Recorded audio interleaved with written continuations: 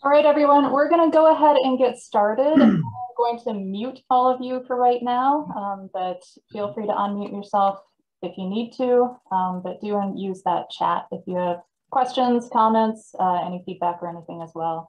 But I just want to keep us on time and get us started. All right, so thanks so much to all of you for joining us for our biennial Parsons Field Institute update. I'm thrilled that all of you are here. This is actually a really exciting year for the Conservancy. It is our 30th anniversary. So 30 years of protecting natural open spaces and connecting people to the land. Many of you know me, but for those of you who might not, I'm Tiffany Sprague. I am the Parsons Field Institute Manager with the Conservancy. Uh, so I help oversee the scientific work that we do. So just a couple of quick housekeeping things. I can get my computer to function, of course. There we go. Um, so hopefully all of you know where the restrooms are. If you don't, I encourage you to become acquainted with that.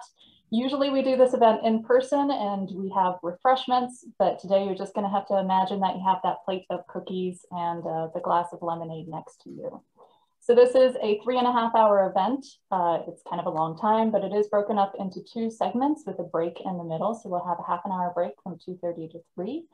The first part, we'll discussing our long-term monitoring projects for plants and animals. And then in the second part, we'll be focused more on the management side of the work that we do. So again, I encourage you, please stay muted during the presentations, uh, just to make this go a little bit smoother, but we are going to have a Q&A session following each of the main presentations, time willing. And you're welcome to put questions into the chat box and then I'll be moderating, so I'll read those out so that the presenters can answer them. Also feel free to use the chat for any general questions, feedback, anything like that as well. If you have a really complicated question that you don't want to put into the chat during that Q&A section, you are encouraged to unmute yourself to ask that, but do try to use that chat as much as you can just so we keep things moving along. So we have a pretty diverse audience out there today. Many of you are really familiar with the Conservancy, but I know that we have some people out there who might not be. So I wanted to give just a quick overview of who we are and what we do. So this is our mission statement for McDowell Sonoran Conservancy. We are interested in protecting natural open spaces and connecting people to the land. And we do that through our three main pillars, so science, education, and stewardship. We are very much a volunteer driven organization. We have more than 160 volunteers. We call them stewards and they engage with us through nine different programs. So this includes things such as engaging with visitors at the trailheads, or out on the trails, uh, construction and maintenance to keep our trails in good working order, getting out there in the community to work with people and educate youth and adults, and the one that we're going to focus on today and that we're going to hear a presentation about in just a couple of minutes is our citizen science program. So most of the work that we do is in McDowell Sonoran Preserve right here in our backyard. It is the largest urban preserve in North America at 30,580 acres. It's actually the fourth largest urban preserve in the world. And so we're really lucky to have it here in our backyard. It makes up about a third of the land area of the city of Scottsdale. and so the preserve is owned by the city of Scottsdale, but it's managed through this unique partnership between the Conservancy and the city. And it's also heavily used for recreation. It sees more than a hundred, or sorry, more than a million visitations every year. These are people getting out there to enjoy the more than 225 miles of trails. Uh, they use them for non-motorized uses, so hiking, mountain biking, and horse riding. So the Parsons Field Institute is the science or the research arm of the Conservancy. And our mission statement is shown there for you. But basically, we are looking to inform natural resource management of the Sonoran Desert and other arid lands. And we do that by partnering with other organizations and entities, as well as by engaging people as citizen scientists in our work. In addition, we are looking to use the information that we are gathering to contribute to the broader scientific community and by engaging people and educating them about what we are doing, we are also hoping to inspire people to become stewards of our beloved desert. So in terms of partnerships, we have quite a few. Hopefully I got most of the science ones up here. I apologize if I missed any though. But by partnering with other organizations and with individuals, we are able to maximize our impact. We're able to learn and grow together, develop really good projects, and make sure that we are getting information out to everybody who needs it. And then of course, the other part of this is citizen science. And within our citizen science program, we have hundreds of people who volunteer their time and contribute thousands of hours every single year. And our citizen science program is a little bit different from many of the other programs that other organizations have. We encourage our people to be engaged from beginning to end. Uh, so they can get engaged at the very beginning, coming up with ideas of projects, uh, carry that forward through design and implementation, and all the way through to analyzing and reporting out the results. So our work factors into three primary priorities. This is a really texty slide that I'm going to show you. I apologize for that. But the first of our research priorities is we are interested in assessing the impact of urban stressors and climate change on arid lands, including the preserve and on the Sonoran Desert. Our second priority is we are interested in determining the most effective ways to manage the Sonoran Desert and other arid lands to protect them into the future. And then the final one is the culmination of those first two and using the knowledge that we gained from those first two priorities so that we can actually then put it into action. So this is taking what we learn so that we can actually manage and conserve these lands. So with that, I wanna move into today's program. We are going to get an overview of some of our key projects. And these are going to be delivered by our stewards as well as by staff and by some of our partners. And so for this first section, we're going to learn about priority one projects. So those are those long-term monitoring projects for flora and fauna to understand how urban stressors and climate change are influencing resources. And then the second part is going to focus on priorities two and three, and that is geared towards more of the management side of the work that we do. But now I am going to stop sharing my screen and it is my pleasure to introduce you to John Zekias, who is the chair of the Citizen Science Program. He has been with the Conservancy for only a couple of years, but he immediately started to step into leadership roles. And we were lucky enough to snap him up so that he could be part of the Citizen Science Program. He was assistant chair for a year and then just stepped into the chair role this past April 1st. And so with that, I turn it over to John. Thank you, Tiffany. Well, good afternoon, everyone, and thank you for attending our Parsons Field Institute update. As Tiffany mentioned, I'm John Zekias. I'm a lead steward, a certified citizen scientist, and current chair of the Citizen Science Program for the Scottsdale McDowell Sonoran Conservancy. My presentation will provide an update on our program, projects, challenges, accomplishments over the past two years. The mission of the Citizen Science Program, we work with the Parsons Field Institute. Sorry, jumped ahead. Not good already. Field Institute to engage stewards as citizen scientists to conduct ecological research, to inform long-term natural resource management, and inspire stewardship of the desert. Our team is made up of steward volunteer leaders they manage projects in collaboration with the Parsons Field Institute. These certified citizen scientists bring varied knowledge and backgrounds and a passion for the project they manage to better understand the various impacts on flora and fauna in the preserve. Our team works with the leadership team of the Parsons Field Institute, who you'll hear from today. You've already heard from Tiffany. You'll also hear from Dr. Helen Rowe, who's the Associate Director, and Mary Fastiggi, who's a Parsons Field Institute lead. Over the past two years, since our last update, Debbie Langenfeld completed her term as Citizen Science Chair and was replaced by Paul Staker. Paul continued to drive projects, testing, and reporting of results. In addition, Paul has been a driving force in our invasive non-native plant efforts. I was named assistant chair in February of last year, as Tiffany mentioned, and accepted the chair role on April 1st of this year. The big news is we have so much going on. We've worked on over 16 projects over the last year. And even with the shutdowns due to COVID 19, we had over 190 citizen scientists volunteers log over 5,900 hours, and that's just in the last year. All things considered, this was an outstanding effort by stewards and the Parsons Field Institute staff. We have all felt the impact of COVID 19 shutdowns, and they affected a lot of our programs last year. However, we were able to utilize trained stewards in smaller groups with health and safety the most important consideration. With all of this in mind, we were able to accomplish all of our monitoring projects and we completed them on time.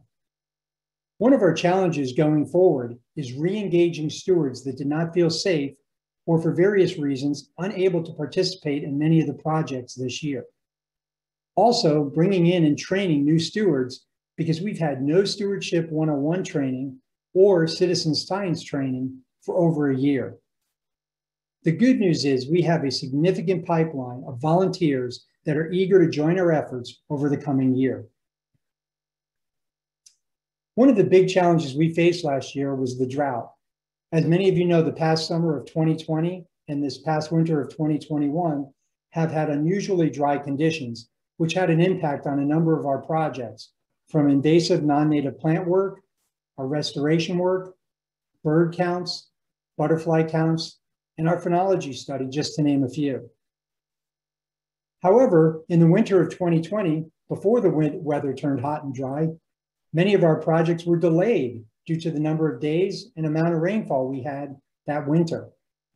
Even in 2021, although a dry winter, when we worked at Brown's Ranch recording our plots for our invasive non-native plant research, we had a little bit of snow, rain, and wind on our first day in the field.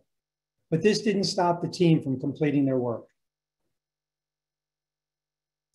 One of the key accomplishments over the last few years was the ability to hire Mary Fastiggi. In September 2019, Mary joined the Parsons Field Institute, where she loves to support ecological research and citizen science within the preserve and Greater Valley region. Mary received her bachelor's degree in environmental studies and history at the University of Michigan. Both as a student and after graduating, Mary worked as an outdoor environmental educator, teaching students from kindergarten through college undergraduates about ecology and the connections between society and nature. In 2017, Mary moved to Arizona for a fellowship at ASU, where she earned her Master's of Science degree from the School of Sustainability. Mary loves the Sonoran Desert and is passionate about conservation environmental, and environmental outreach. You know, an interesting fact about Mary is she may never have gotten involved in science if she hadn't once been stung by a bee. I'll let her fill you in on the details of that. Mary's been providing support on all our projects with a primary focus on degraded lands mapping, RestoreNet, and expanding our Central Arizona Conservation Alliance involvement, including leading project for Desert Defenders and our regional restoration efforts. Over the past two years, our monitoring projects have identified 20 new species within the preserve. We've identified five bird species, such as Savannah sparrow, greater yellowlegs, and during a recent bird survey in April, the Swainson hawk. We've identified five new invertebrates, such as the white-belted ring-tailed dragonfly, the wandering glider, and the pale-faced club skimmer. Also nine mammals, notably the free-tail bat, pallid bat, and ringtail. And three new plant species, including desert bells and prickly golden fleece, which is non-native. In my presentation that'll be available after the meeting and online, I've put together a list of all the 22 species that we have found in the preserve over the past two years. Many of our projects monitor flora and fauna in the preserve. While some projects are ongoing, we've had some changes to current projects and several new projects. For our pollinators program, pollinators, excuse me, were added to our phenology study, as well as several new plants. We paused our corridor camera study this past year to evaluate new equipment to more efficiently identify medium to large mammals within the preserve. Our arthropod project continues, has faced some challenges with the dry weather, but we continue to, to capture arthropods twice a year to better understand the impact of urbanization on the species. Amphibians is another species that was impacted by the very dry weather as they only appear several, usually once a year after the summer rains, which really didn't come last year. Some other studies that are ongoing are butterflies, birds, our bat study, which you'll hear more about, and some exciting things about some new equipment, as well as our new project, the Tortoise Telemetry Project, where we have current, we started working on this this spring and have now tagged nine tortoises to understand the movement through the preserve and the impact of urbanization on this very sensitive species. Debbie and Jane will discuss a couple of projects and our ongoing work and research to harvest and replace important soil crust in the preserve. In addition, they'll also discuss our efforts around testing of different restoration treatments, including our RestoreNet project in collaboration with the U.S. Geological Survey and others. This is a picture of our Granite Mountain site where we have several treatments that we're testing. Mary and Dan will speak to our efforts regarding degraded lands and the findings from our unique approach using Google Earth, which we then validated in the field. Not only do we develop a process and mapping in the preserve, but also collaborated with others in the region to assist them in their efforts in identifying and mapping degraded lands. For our invasive non-native plant project, we continue our, our efforts to map, monitor, and remove invasive non-native plants in the preserve. Paul will speak to the use of the collector app and how it has enhanced our efforts to monitor and map invasive species in the preserve. The good news is we have trained over 50 stewards to help us map invasive non-native plants and have now surveyed over 30% of the preserve landmass. In addition to our efforts to treat and remove non-native plants in the preserve, which has led to six stewards completing training and testing to become herbicide applicators. The team have been actively working in the preserve since January 2020. This effort has led to more than 60 acres being treated. Our challenge is that much, much of the fountain grass and buffelgrass we have treated with herbicide are in remote locations in the preserve, making this effort quite difficult, but we're after it. Another key accomplishment for our team is not only completing the testing and compiling of results from our projects, but then developing research papers and submitting for review, peer review prior to publication. Some examples are a past restoration paper was published in American Midland Naturalist. Also, two other papers, Degraded Lands Mapping Methods, which is under revision for restoration ecology, and our closed trailed restoration study has been submitted to Restoration Ecology for review. This is a great accomplishment for the Parsons Field Institute and our stewards as we gain local and national recognition for our scientific research and project management efforts. Dan and Helen will discuss our efforts working with the International Union for the Conservation of Nature. Our team has developed new processes and protocols that you will hear more about including working with regional, national, and international groups to monitor flora that have the potential to become endangered. This will allow us to take action and reverse the course of this devastation. We've completed a great deal of research to better understand the impacts of everyday life on the preserve and the larger Sonoran Desert, and are working to share this with local and regional partners so that others can learn from our research and many of our research techniques. Our amazing PFI staff and stewards have accomplished so much over the last two years, but we still have so much more to do. This picture here shows something that most of you have probably never seen. It's blue fountain grass. When we treat fountain grass with an herbicide, we use a blue coloring. By the way, this is my favorite color of fountain grass, blue because before, it's, before it turns brown and dies, it's blue. So I thank you today for your, for your participation, and I'd like to turn it back over to Tiffany. All right, thanks so much, John. That was great. Um, so now I am very pleased to introduce you to Dr. Helen Rowe. She is the Associate Director of the Parsons Field Institute, has been involved with the Conservancy for about eight years now. She actually started as a volunteer with us. Uh, she was a research partner and a member of our Science Advisory Committee. And then she started working with the Conservancy for about six years. Um, she's a restoration ecologist and helps oversee a lot of the work that we do, but today she is going to give us a little bit of background about our long-term monitoring projects before we jump into those presentations.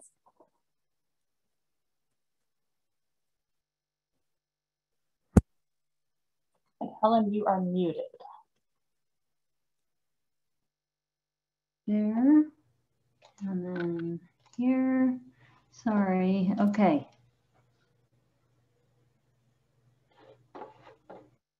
Right. Yes, I got it all ready. Um, great to see um, so many people tuned in.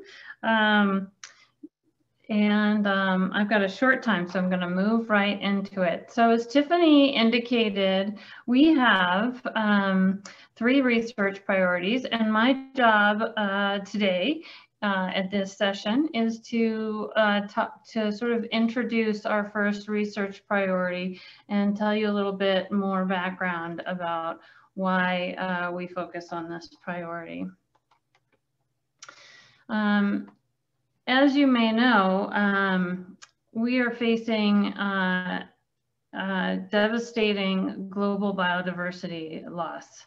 Um, a seminal study in 2015 showed that worldwide, across all species groups of plants and animals, biodiversity is, is decreasing.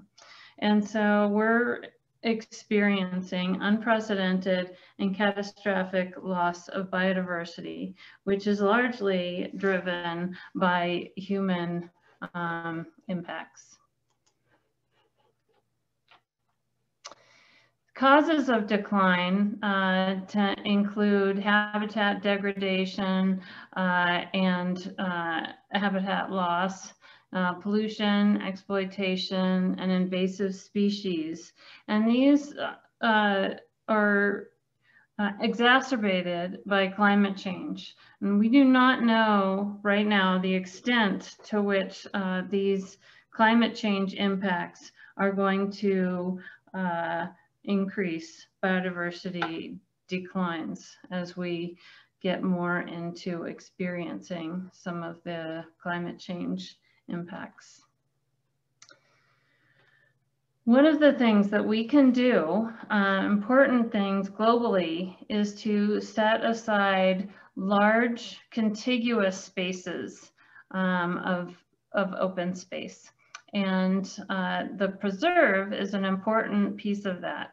So not the preserve provides a connects connection between uh, the McDowell Mountains and Tonto National Forest to the north. And because of that, um, supports uh, so many uh, species. Um, because uh, species need uh, this uh, large space um, in, in order to persist and thrive. The preserve uh, supports over a thousand uh, species. Um, and so in, you know, in our drive to protect biodiversity, it's not enough to just protect places. We also need to ensure that those places support can continue to support biodiversity. And so we need to continue to um, protect uh, and possibly restore and conserve as we'll talk about in uh, section two today. And so we need to uh, monitor these species um, over time and ensure that they have, they um, are able to continue to thrive. And so one of the um, elements of the preserve that's also important to note is that it's highly affected by urbanization, eh, both by roads and uh, increased uh, human use of the preserve through recreation. And so through our monitoring programs, it's important to study the impact of those stressors on plants and animals in the preserve. We also, uh, key to our program is engagement of stewards in studying these effects through citizen science and also uh, being able to uh, share those, uh, what we're learning with the public. So one of the ways that we um, are able to protect the preserve, as I've said, is through uh, long-term monitoring. And so to do that, we need to understand what resources we have in the preserve. And we have a lot of that work, uh, a really solid foundation of that through our flora and fauna uh, work of understanding the different species in the preserve. And we continually update that. In fact, we just, um, as John had mentioned, we've we continue to find new species um, in the preserve and we add those to our list. Uh, but we also need to look at what are the changes in those populations over time. And so we want to be able to quantify that change and then determine change causes and then identify management actions and work with the city of Scottsdale to locally to be able to implement um, management uh, ch changes that are needed. And so some of our long-term monitoring projects include amphibians, arthropods, bats, birds, butterflies, plant phenology, and our IUCN plant assessments. Many of these uh, species or species groups not only help us to track uh, the trends of those particular species, but they're also sensitive to particular disturbances and, and can indicate broader changes that may affect, uh, be affecting other species as well. So they're indicators or bioindicators. So for example, amphibians are important for detecting pollution and also drought. Um, birds for uh, habitat change, they're sensitive to their um, high quality habitats. Butterflies for climate change and environmental change. And so to sum up this um, this priority, what we do is we monitor biodiversity local because after all, all biodiversity data is local. And we, um, so we monitor and then we, so that we can detect change and inform effective uh, biodiversity protection and conservation. We compare our data with other data sets in the region so that we can understand the larger picture and not just in isolation, since species move and populations are connected. Initiatives like ours are critical on the global scale for larger analyses and assessments of biodiversity trends that can help inform global biodiversity framework and IPBES, which is an intergovernment science policy platform on biodiversity and ecosystem services. And so I like to think that um, what we're doing on a local scale can feed um, all the way um, to a global scale. Oops. And now I'd like to um, move into our presentations. And so in this section, we're going to be covering bats, butterflies, arthropods, and you'll see me back for the IUCN assessments. So I will stop sharing my screen and let Tiffany introduce our next speaker. Thank you. All right, thanks so much, Helen. Uh, so with that, we are going to roll into the actual presentations.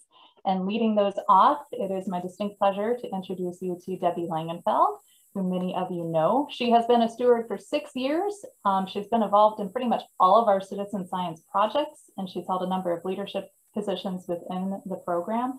As John, said, as John said, she was the citizen science chair for three years. And once she moved off as citizen science chair, she immediately jumped into a couple of other leadership roles. Uh, one of those is as our BAT project lead, and that is the project that she is going to tell us about now. So thank you, Tiffany. That was a nice introduction. I am, as Tiffany said, the citizen science lead for this project, working with Helen Tiffany and our research partner, Dr. Marianne Moore from ASU. Marianne couldn't join us today, but she's been instrumental in providing the knowledge and support needed to achieve our joint goals. So why are we studying bats? One of the most misunderstood animals, bats are crucial to our planet. They provide essential pest control, pollinate our plants, and disperse seeds for new plants and trees to grow. Bats can also be important environmental indicators for climate change and urbanization because of their sensitivity to roost temperatures and their need for large insect populations. And unfortunately, like a lot of other species, many bat species are in serious decline. Global threats include loss of habitat, noise, light, and intentional disturbance by humans. If, and if that isn't enough, there is a fungal infection known as white nose syndrome that affects hibernating bats and has killed millions of them in the eastern U.S. And it's moving west and has been detected in California, Texas, and Washington. And very sadly, it was just announced last week in, as uh, being detected in New Mexico as well. So where is our research area? Well, there are several closed mines in the preserve, and we're monitoring one that is known to support bat population. It offers the water, consistent temperature, and humidity that bats prefer. The surrounding riparian area offers an abundance of insects for foraging and a commuting corridor. We've known bats were there since 1981 when the BLM and Game and Fish periodically conducted emergence counts and captures at the site. And in 1992, the mine was determined to be used as a maternity colony for Townsend big-eared bats. That was an important find because the Townsends are considered a sensitive species in Arizona. In 2000, the Nature Conservancy declared the area an important conservation area for three species of bats, the lesser longnose, California leafnose, and cave myotis, and it's in a good location to contribute to research being done across the country and Arizona to detect the presence of white nose syndrome. To achieve our research goal of assessing the bat species occurrence and relative abundance across seasons and years, we have to combine methods. So we do emergence counts, physical captures, and acoustic recordings. Reviewing the chart, we can determine relatively how many bats are there and when with emergence counts and acoustics, but not with captures. We can determine what species are there with acoustics and captures, but not with emergence counts. Taken together, we have a comprehensive approach that includes both the mine and surrounding area. So let's now delve into each of these methods a little further. We've been doing spot checks in the area since 2016, but in 2019 we began more rigorous emergence counts to determine when bats use the mine and seasonal changes in population size. Emergence counts are done once a month, as close to the new moon or darkest night of the month as possible. We position two IR infrared lights and two video cameras in front of the mine and record for two and a half hours. We then visually count the number of bats coming out of the mine and going into the mine. With two years of data, that means that fellow citizen scientist John Griffin and I have reviewed over 230 hours of videos. The following video will give you a good idea of what we're looking at. Watch closely, and you'll see a bat entering the mine. We count that as one in. Keep watching and you'll see a bat exiting the mine. We count that as one out. Now you might say that that was the same bat and we're double counting, but do you really know for sure that that was the same bat? That's why we're calling it relative abundance instead of absolute abundance. Because we could be observing the same bat in and out, or it could be different bats. Moving on to captures, they answer the question of which species are there and possibly why they are there. We've done a few occasional captures of bats entering and leaving the mine using the harp trap in the picture on the right. It's rightly named because it looks like a harp with three rows of fishing line and a trap. The bats aren't harmed. They're caught in the lines as they fly either into or out of the mine and slide into the trough where we pick them up and then, um, as you can see from Marianne Moore, she's identifying the bat species, checking its general health, measuring, weighing, and determining the sex. She's also looking to see if the bat is pregnant and lactating. A swab is taken to test for the occurrence of white nose syndrome. Acoustic monitoring allows us to determine what species occur within the surrounding area and assess how their distribution might change over time. We do this monitoring on the same day and for the same amount of time as the emergence count.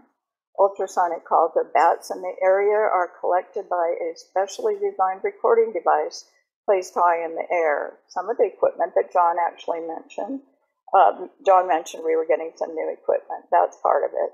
The files that are created are then analyzed by software that is also specifically designed to evaluate the wave pattern and auto-ID species. Not all species can be auto-ID'd though. Those that can't must be manually analyzed, and that's because could, there could be noise interference, multiple overlapping bat calls, or bats without calls, uh, bats whose calls sound very much alike. I thought it would be interesting for you to see the output from the process. Here are two bat call spectrograms. Bats, for, bats have different calls depending on what they're doing. The bottom is a low frequency commuting call. This bat is cruising around the neighborhood checking out the scenery. The top is a higher frequency, very rapid staccato call. The bat is acquiring and capturing an insect, much like a fighter pilot would be doing to zero in on a target. This is a spectrogram of a canyon bat produced from a recent field day.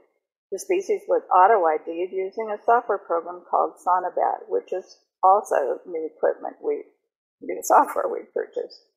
You can see how crisp this recording is and easily recognized by the software. You might be familiar with this bat because it's the first one to come out at night right after sunset. It's probably obvious, but this is a spectrogram that could not be auto-ID'd and will have to be evaluated manually. Well, I've shown you our three research techniques, but what does it all mean? Although we're just starting to get to understand the data, the next few slides review some of our preliminary results. To answer our first question, which species are there, we can take a look at the number of acoustic calls recorded by species. Each pie chart represents a year of data. This is not all the species that were identified. It's the calculated percentage of the bats with recorded calls greater than 100. The canyon bat is overwhelmingly the most recorded species. This is not surprising as they are second to the most abundant in the Phoenix uh, area behind the Mexican or Brazilian free-tailed bat. We can further answer the question which species are there by looking at the capture data. We've captured four species, including predominantly the Townsend big-eared, rightfully named for those big ears, I'd say, the canyon, the California myotis, and the cave, my, uh, and the cave myotis. And since we're talking about captures, we might as well report our very important find in June 2019.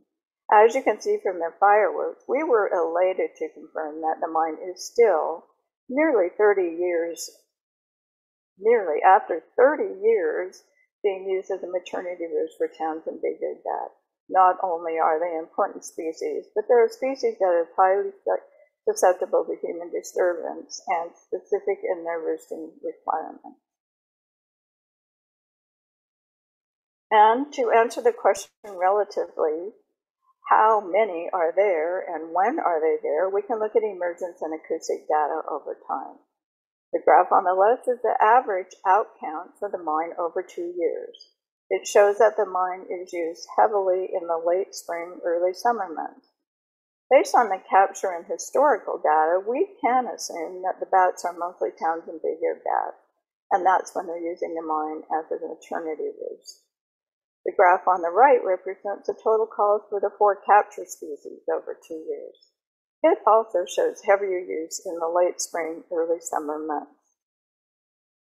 Both graphs show that the mine and surrounding area are used year-round, which has important implications for when certain activities can occur in that area. In the future, we will have enough data to uncover patterns and trends such as the effects of weather. So where do we go from here? Of course, we'll continue with the monthly monitoring at the mine, but we want to expand our research to understand how bats are using other areas of the preserve. So next week, we're deploying five more acoustic monitoring devices. In order to get the broadest sample, they'll be deployed across different biotic communities at different elevations and terrain. We're excited to be working with the national, uh, with the North America Bat Monitoring Program on this effort, and we'll be contributing our data to help them reach their goal of creating a continent-wide bat monitoring program to promote effective conservation decision-making and long-term viability of bat populations. So that's the end of my presentation. Um, are there any questions? Right, thanks so much, Debbie. So far, people are taking it really easy on you and there are no questions in the chat. Uh, I do encourage folks, get some questions in there. Gonna, oh, goodness.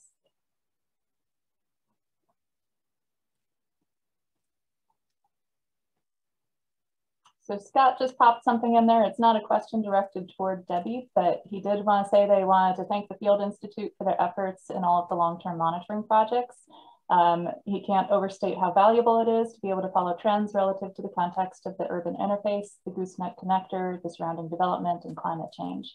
Long-term data sets of such op optimal study areas are extremely rare, and as Helen mentioned, this really does have the potential for global implications on conservation focus areas such as wildlife connectivity. I have a question for Debbie. Yes. This is, this is Patty.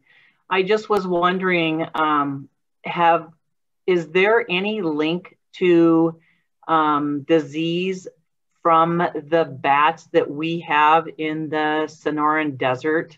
I know that there was a big deal um, in Asia about the bats, and they've it seemed like they got a really bad rap and I was just wondering if that's something that is, is there some truth to, to that? And, or do we have anything like that in with our bats in the desert? You know, uh, hi Patty, first of all. Um, I don't know the answer to that, and I wish Marianne Moore was here because she was one of the very first people who went in and discovered uh, the white nose syndrome back east, and her research was on white nose syndrome. But I don't and she also teaches, um, uh, does a lot of teaching about what is what happened with COVID. Well, I I don't know the answer to that. Tiffany, do you know? Unfortunately, I missed a little bit of the question. I apologize, Patty. I was uh, checking out the chat. But you're wondering, is it related to the novel coronavirus and the disease issues surrounding that? Yeah, that or um, I'm trying to think about five years ago, there was something in Asia about the disease with the bats, or maybe it wasn't even that long ago. Maybe it was three or four years ago before the coronavirus. But I was just wondering, and what, what, okay, what is the white nose syndrome caused from? So I'll start with the second one. The white nose syndrome is caused by a fungus. Um, don't ask me to pronounce what fungus it is. Uh, it's got a very, very long name, but it's caused by a fungus. Um, Debbie has it up here, Pseudo pseudogeogymnum, yeah, whatever, just start things.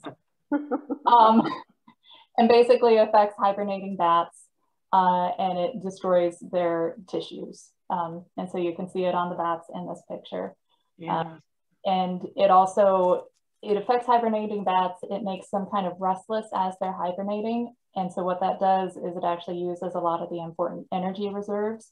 And so they ended up running out of energy before they're able to emerge from hibernation. And so they can die during hibernation or when they emerge, just be weakened to the point that they then cannot survive.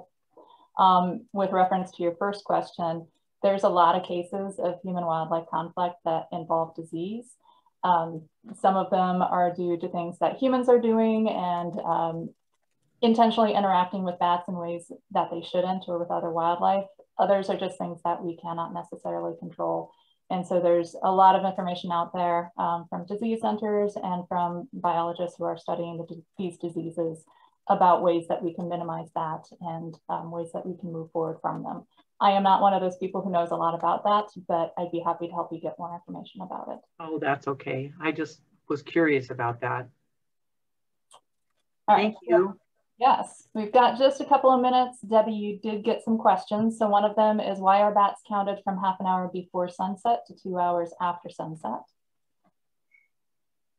Um, for our research, actually, um, at the mine, we count them for two and a half hours. So we, we count them half an hour before and then for two hours after. Um, but be, they're counted before because some bats actually start coming out, um, like the canyon bat, for example, right at or right after sunset. So some bats actually do come out before sunset and they're returning. Uh, they're, so they're going out to forage and they are then returning uh, in the early dawn hours of the morning. So that's why we count them until half an hour after sunset, or we will be when we put out the five monitors. Debbie? Yes. Ernie Finkel, how are you? Hi, Uh, I'm good. How are you? Great. Uh, just a quick question uh, on the bat counts. Yes. In the preserve, we use laser count to, to basically uh, cover people coming in. And actually, we must have some sort of an algorithm of those who do not return to the trailhead and go on to some other uh, part where they will leave. Do you have an algorithm on the count, the bat counts as they come in? Because there's no way to really ascertain who, which bat is which when they go in and which when they go out. So is there any way that you, any formula used to sort of measure that count? Other, uh, there isn't, uh, if I understand your question right, there isn't. It is just a simple count of the bats that uh, enter, that break the line of the gate, and that exit. But there isn't an algorithm that helps us determine, if I, understand your question, what percentage of those uh, we've double counted or something. Is that your question? That's my point. Yeah, Yeah, that was my question. no, uh, there, there is not. I have one more question. I'm sorry. I was just wondering, does the light, um, our city lights, are they affecting the bats or ha- have you guys noticed that? We don't have the data to support that. Uh, as I said, we, we do do, you know, we do do the research on the, as close to the darkest night uh, as possible.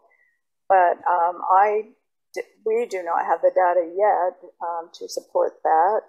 And then Tiffany, I don't know if, if you're aware of any data that supports that.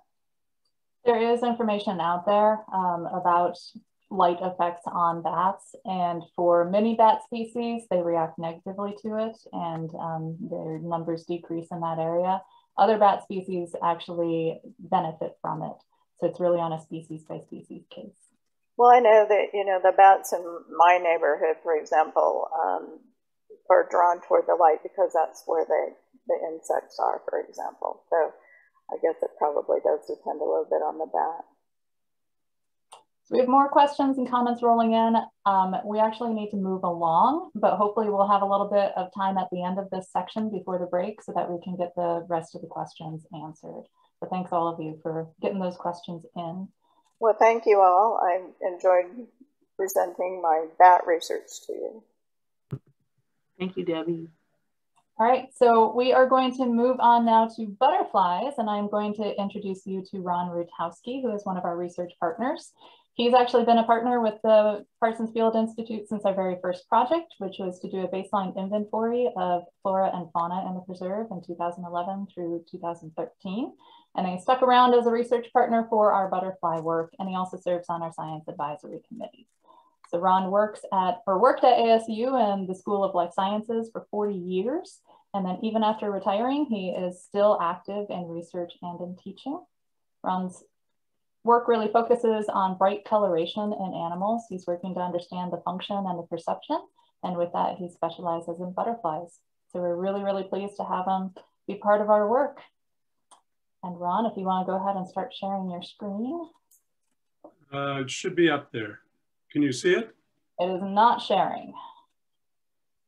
Oh, no, that's strange.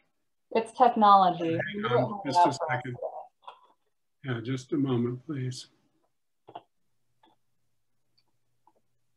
Ah.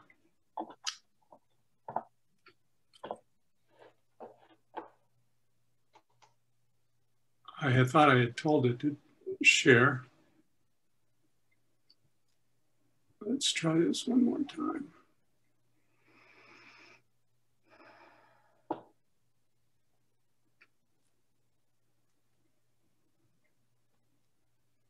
All right.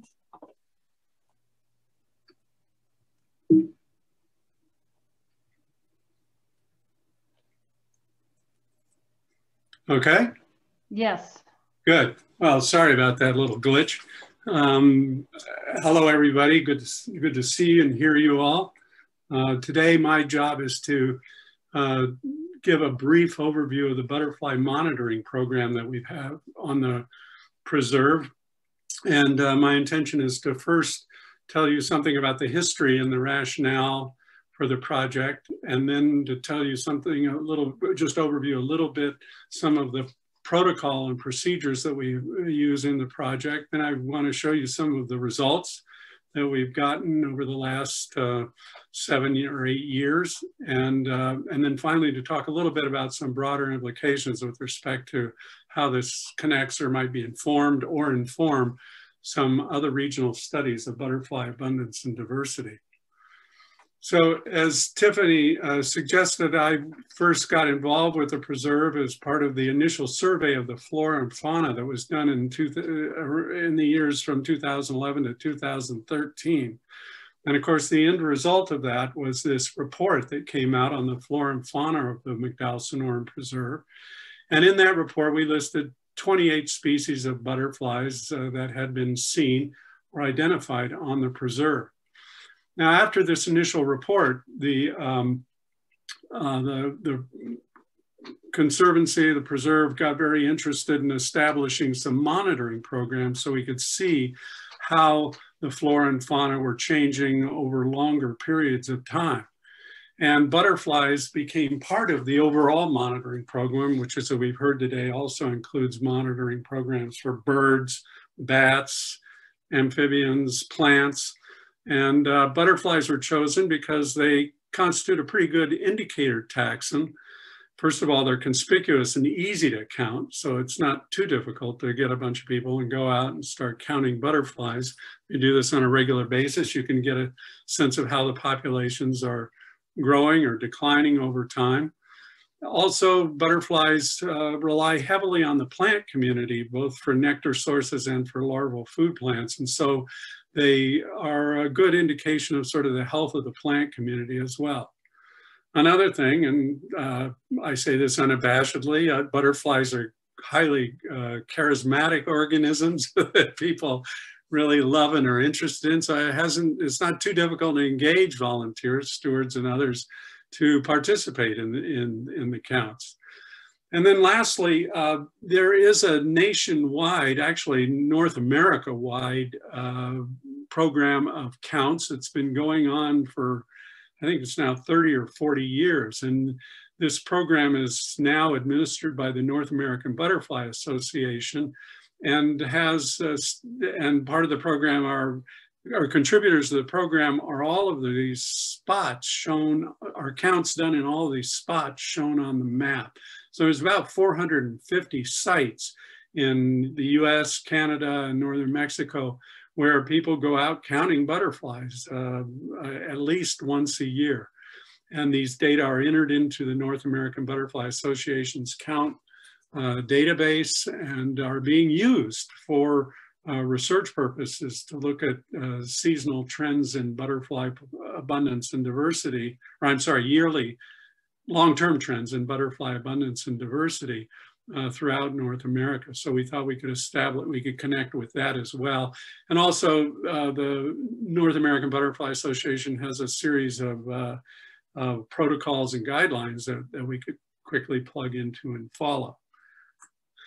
So we started the butterfly counts in 2014, 17 years ago. Initially, the counts were done just in the fall for the first three years or so in, uh, in late September.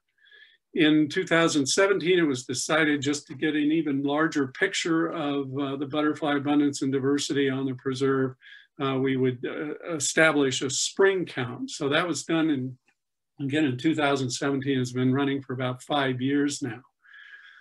Um, the butterfly counts have been turned out to be a, a good community science thing. We have uh, not only local experts that are involved, there's steward leads and then there's stewards that uh, and other people who participate as well, including it's been there's been students from Scottsdale Community Count uh, College and other places. So uh, as a community science project, it's been good. The count protocol has been, uh, we've developed that and it's been refined uh, in, the, uh, in the various reiterations of the count. We now, I think, have quite a good uh, pro process, in place, protocol in place.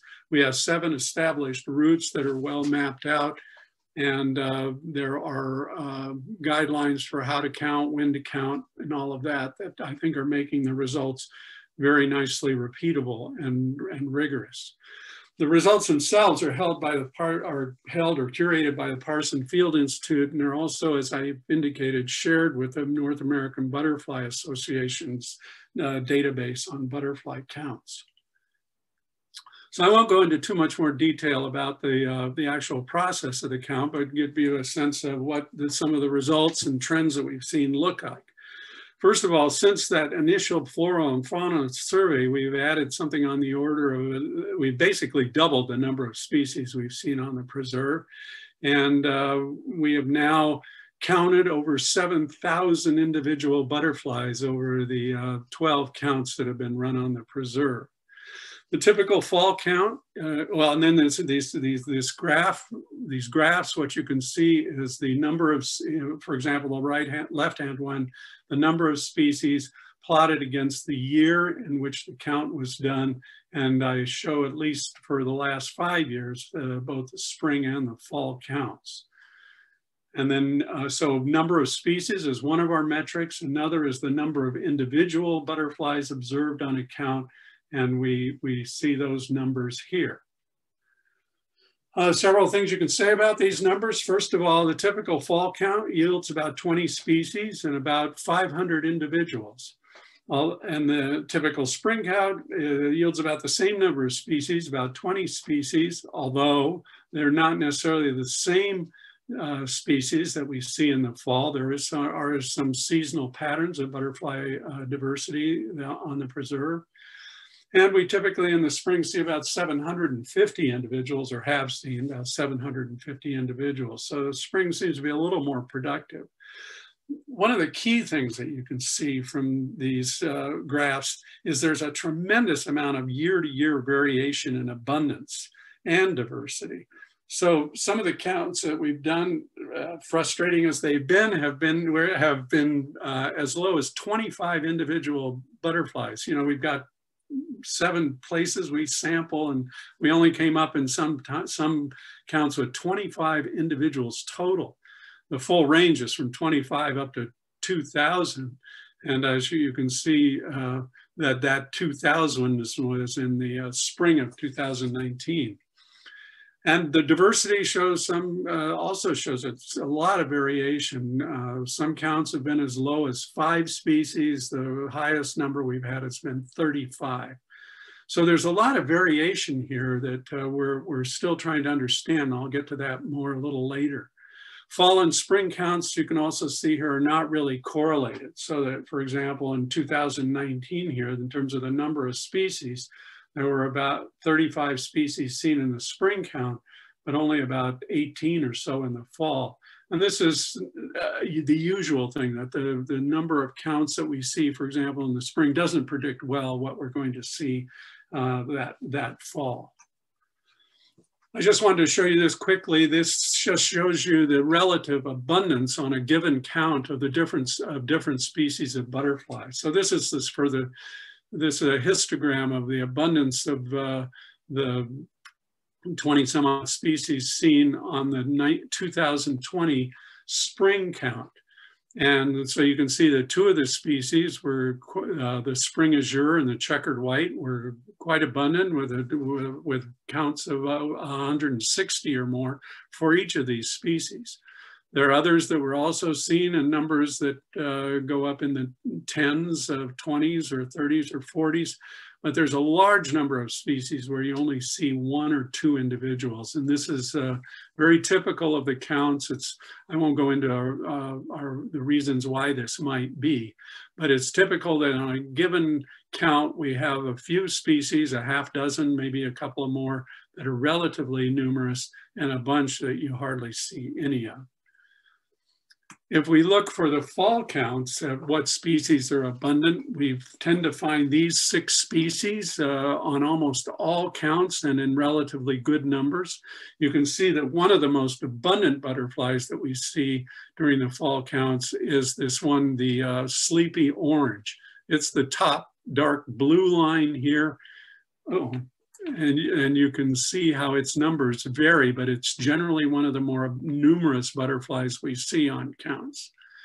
Um, other species are less common, but still more common than these ones where we see one or two.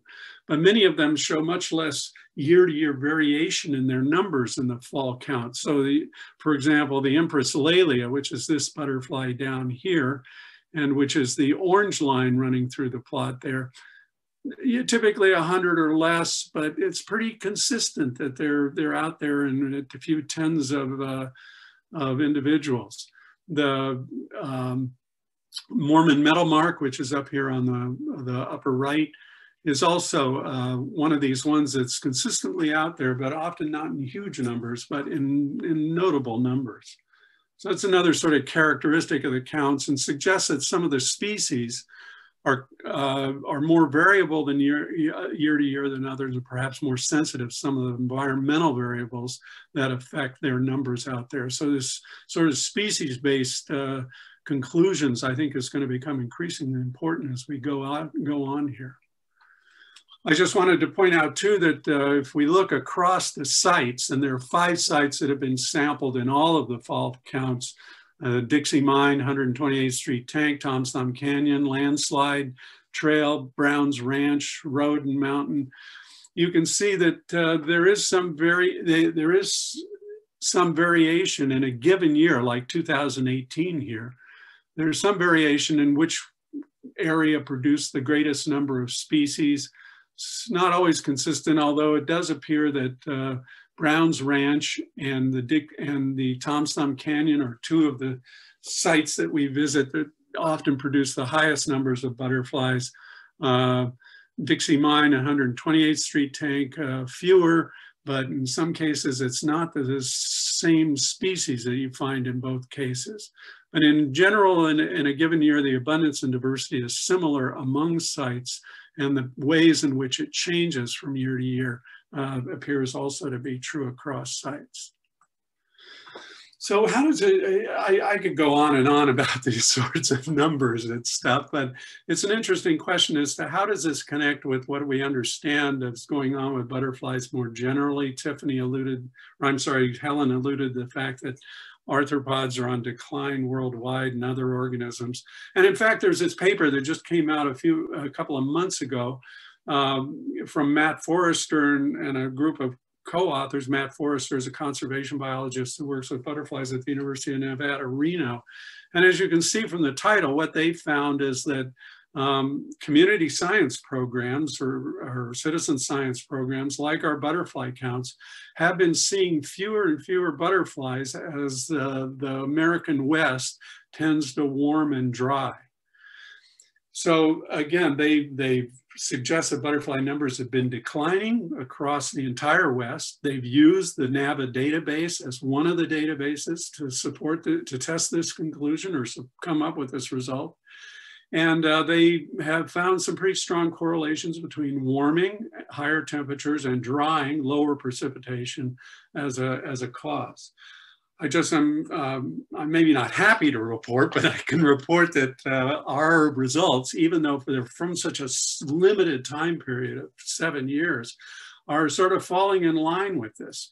So here, what I've plotted is the number of species, one of our metrics, against the rainfall. These are for fall counts.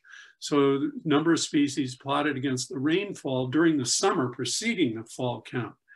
And we get quite a, a, significant positive correlation. That is, the more rainfall that we get in the monsoons, the more species we see on the uh, butterfly counts. Similar correlation for the number of individuals seen on the count.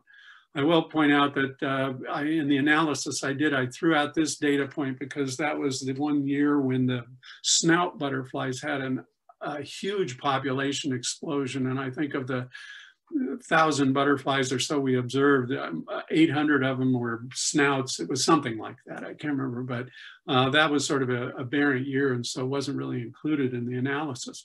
But we get a very similar set of results for the spring counts, even though we only have five uh, five counts, spring counts that have been done so far for the number of species if we look at how that's related to the winter rains, the rain that falls between October and March preceding the count in early April, we get again a, a significant positive correlation. Number of individuals, again, a significant positive correlation um, uh, in, in uh, how when, and how the number of individuals that's affected by winter rains. So in general, we're getting uh, results even on the short term that are consistent with this, uh, the, the results of this recent uh, uh, report on how butterfly numbers are changing in the West as apparently as a result of climate change. I will point out that the, they didn't use our data for the preserve because they didn't use any data set that was less than 10 years. And many of the data sets they use span 30 or 40 years or even more. So in summary, then, I think the counts are proceeding well. The organization is going smoothly, largely thanks to the uh, the steward leads that I've had the chance to work with during the course of the uh, the butterfly account program. The data collection and summary is, I think, has gotten quite streamlined, and uh, we have a great system for entering data into spreadsheets that we can use in the preserve, and also for going to NABA and there's been really good community involvement. We've had as many as, I mean, COVID brought the numbers of community participants down to about 15 per count, but we're uh, previous to that and hopefully in the future to come, we're up into, we've had as many as 30 to 50 people involved in the count, a given count. The implications are, I think, that it's too soon to detect long-term changes, so we need to stick at this, even though the numbers uh, have gone uh, been low for the last few counts. Um, hopefully they'll come up again, but it's important for us to quantitatively document this. The positive effects of rainfall on butterfly abundance and diversity on the on the um, uh, on the preserve, I think, are pretty clear at this point. and the, this, these relationships will uh, allow us to anticipate what the effects of climate change might be on butterflies over as well, overall, as well as on specific species. So just to wrap it up, I want to thank all the participants, and I want to especially thank the steward leads. Uh, there have been six of them over the years, most recently Doug Jensen, but they've all just done a wonderful job of pulling this all together. So I'll uh, take questions or comments now. Thanks. Thanks so much, Ron. Unfortunately, we are running low on time. Uh, too much great information there, but I do encourage people, you're welcome to still put questions in the chat uh, and we'll save them. We can address those either during the break or after everything is done. Um, but thanks so much, Ron. That was a great presentation. Mm -hmm. So now I am thrilled to introduce you to Derek Uhey, who is our research partner up at NAU, who is helping us with our arthropod study. So from their flying cousins down to the ground dwelling variety. Derek is a PhD candidate at NAU. He's working with Dr. Hofstetter, and his dissertation is on how seed harvesting ants help structure plant communities. Um, but his overall research focus is on how arthropod communities are structured through biotic and abiotic factors, which factors very neatly into our goals as well. And so with that, Derek, if you want to share your screen. Cool, thank you for that introduction. Um, all right, one second. there we go, hopefully everyone can see that. All right, yeah, thanks for having me today to talk about uh, some very neat work that's come out of the the Sonoran Preserve. Um, I'm up here in, in Flagstaff, but it, it's a pleasure to be working down there in the Sonoran where it's nice and warm. Um, and yeah, I'll be talking about uh, arthropod communities on the urban edge of the preserve today. So uh, we, we've been sampling these ground-dwelling arthropod communities. And what are ground-dwelling arthropods? They're, they're arthropods that live on the ground surface. These can be things like ants and beetles, mites. Um, it's a whole large diversity. And um, these uh, ground dwelling arthropods are really defined by mostly living on the ground surface and it's whatever falls into a pit trap. And, uh, and a pit trap is essentially a cup dug to ground level um, and a very easy way to sample um, ground dwelling arthropods. And this community of ground dwelling arthropods is really important for all sorts of ecosystem services like trophic regulation of other groups. Many of these are, are predators or herbivores. Um, many ground dwelling arthropods are important for decomposition and nutrient cycling. Um, and they're really important for linking those above ground processes to below ground processes. And you think of things like ants that um, while they live on the surface most of the time, they also nest and they dig down below the surface. So they really form this link um, of, of, ground and below ground processes. And, and uh, really the, a huge defining characteristic of ground dwelling arthropod communities is that there's this enormous diversity that is found in them. Um, we're talking things like insects, arachnids, even some land crustaceans like isopods, um, and then things that used to be insects but now are in their own group, uh, springtails. So um, there's just this huge diversity, and that uh, you know we've seen some great talks uh, on bats and, and, butterflies, but you know that's just a, that tiny percent of the diversity that's actually there in the Sonoran Preserve. Most of it is going to be in your ground-dwelling arthropods. Um, there's just so many species, and so much is unknown about a lot of these these species. So um, it's really interesting that we have this data um, that's come from the preserve to be able to look at this. Um, and many of you know the McDowell Sonoran Preserve is this unique urban interface environment um, where water and temperature stress is pretty extreme compared to other areas. Uh, so I was really excited to be able to, to look at some of this data because um, a lot of arthropod community data um, is actually comes from from wetter places uh, and more mild climates. And so this extreme climate that uh, we have down in Phoenix um, is really interesting um, to look at some of these questions with. So uh, this previous study that's, uh, that's come out of the CAP project um, found that urban areas in Phoenix have more arthropod abundance. There's more total numbers, but the diversity is less. And that was just comparing urban areas, so like someone's backyard, to the desert, to, to pristine areas. But here we have a different question. We're actually going to look at the urban interface. And so our study objectives for this were to compare uh, arthropod communities on the urban edge, right, where that development, um, you can see there's houses in this picture, right, um, versus the interior of the preserve. Uh, and we also wanted to examine the effects of temperature and precipitation on these ground-dwelling arthropod communities of the Sonoran Desert. So you may be familiar with this idea of an urban edge and how it affects different communities. So uh, a classic example um, is mammals, right? Uh, uh, deer or, or mountain lions or whatever um, are highly affected by this urban uh, edge. It can really change their habitat because even though the plants might look pretty similar, you know, here versus inside the preserve, um, the effect of the houses being there changes their behavior, right? Um, so the, these urban edges can really impact the ecology of systems and make them uh, quite different from the interior of the preserve. So we were wondering um, if this extends to the ground dwelling arthropod community. Now, I was able to jump on this project um, to look at the da uh, data and analyze it, but this has uh, been happening all the way since 2012, back when I was an undergrad. This was way before um, I was actually in graduate school. So this is a great data set. There's so few data sets that span this amount of time for arthropods. And basically, this is the only one I know of that spans this amount of time in an arid environment like Phoenix. So this is a great data set that's been collected down here. Um, and what uh, was established are these interior and um, exterior site pairs. So you can see here, um, we have in orange sites that are on the urban edge, very close to houses. And then In blue, we have interior sites that are at least a kilometer away from the urban edge interface.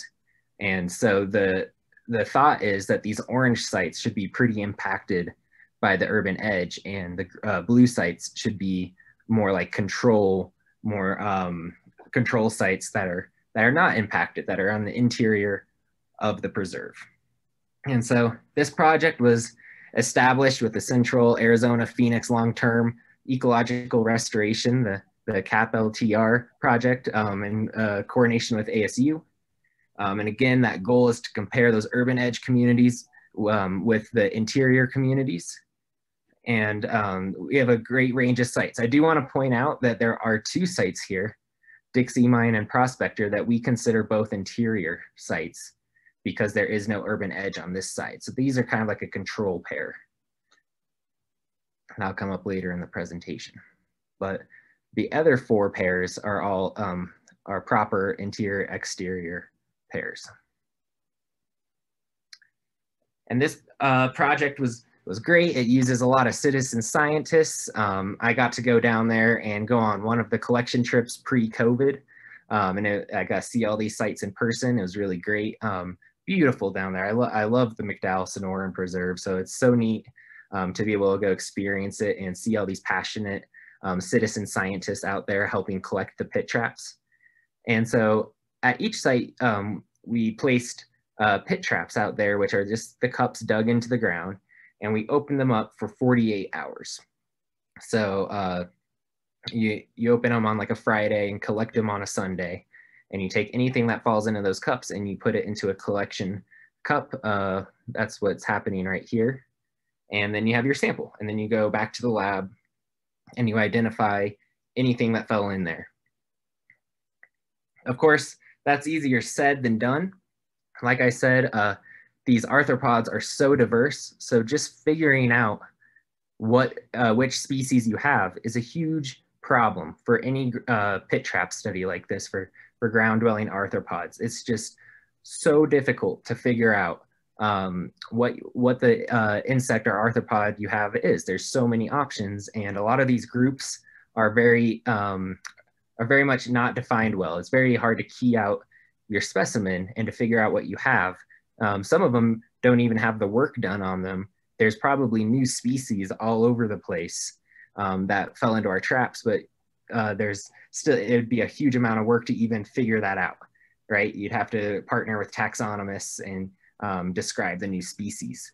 So um, I bet a lot of the mites that are down there are probably new species to science, um, which is pretty, pretty neat, but also poses a challenge if you're gonna try and understand these community dynamics because it's uh, the identification level is all over the place. So we used uh, this uh, pretty common, commonly used uh, practice of going down to the lowest practical taxonomic unit. And that's just to say that um, most of the time we got down to the species level, but when we couldn't get down to the species level, sometimes we're at the genus sometimes uh, level, sometimes we're at family level or higher, depending on the group. So I'm gonna be talking about LPTUs in this presentation, but you can just kind of equivalent that to species level. Um, that's kind of what this means. Um, overall, over those uh, eight years of pit trapping, um, we collected 25,477 individuals and identify those to 287 unique LPTUs. So that's a lot of diversity and a lot of individuals. Um, and 74 of those LPTUs, and remember LPTUs kind of like species, are unique to a single site, and 40 of those are found at all sites, ubiquitous at all sites. And here we can see on the right, this pie chart just kind of shows you um, a breakdown of major groups, you know, what the Sonoran ground dwelling arthropod community really looks like by the numbers. About 30% of individuals are mites and about 30% are ants and 20% um, are springtails. So those are our three dominant groups, uh, mites, ants, and springtails. Um, we also have uh, pretty common are some beetles, true bugs in the order Hemiptera, spiders, and, and bristletails. And we kind of have this uh, others group of uh, things like isopods and, and um, oh, what else? There, there's a there's a few others that we lumped into this others group. This kind of gives you the spread of what this community looks like.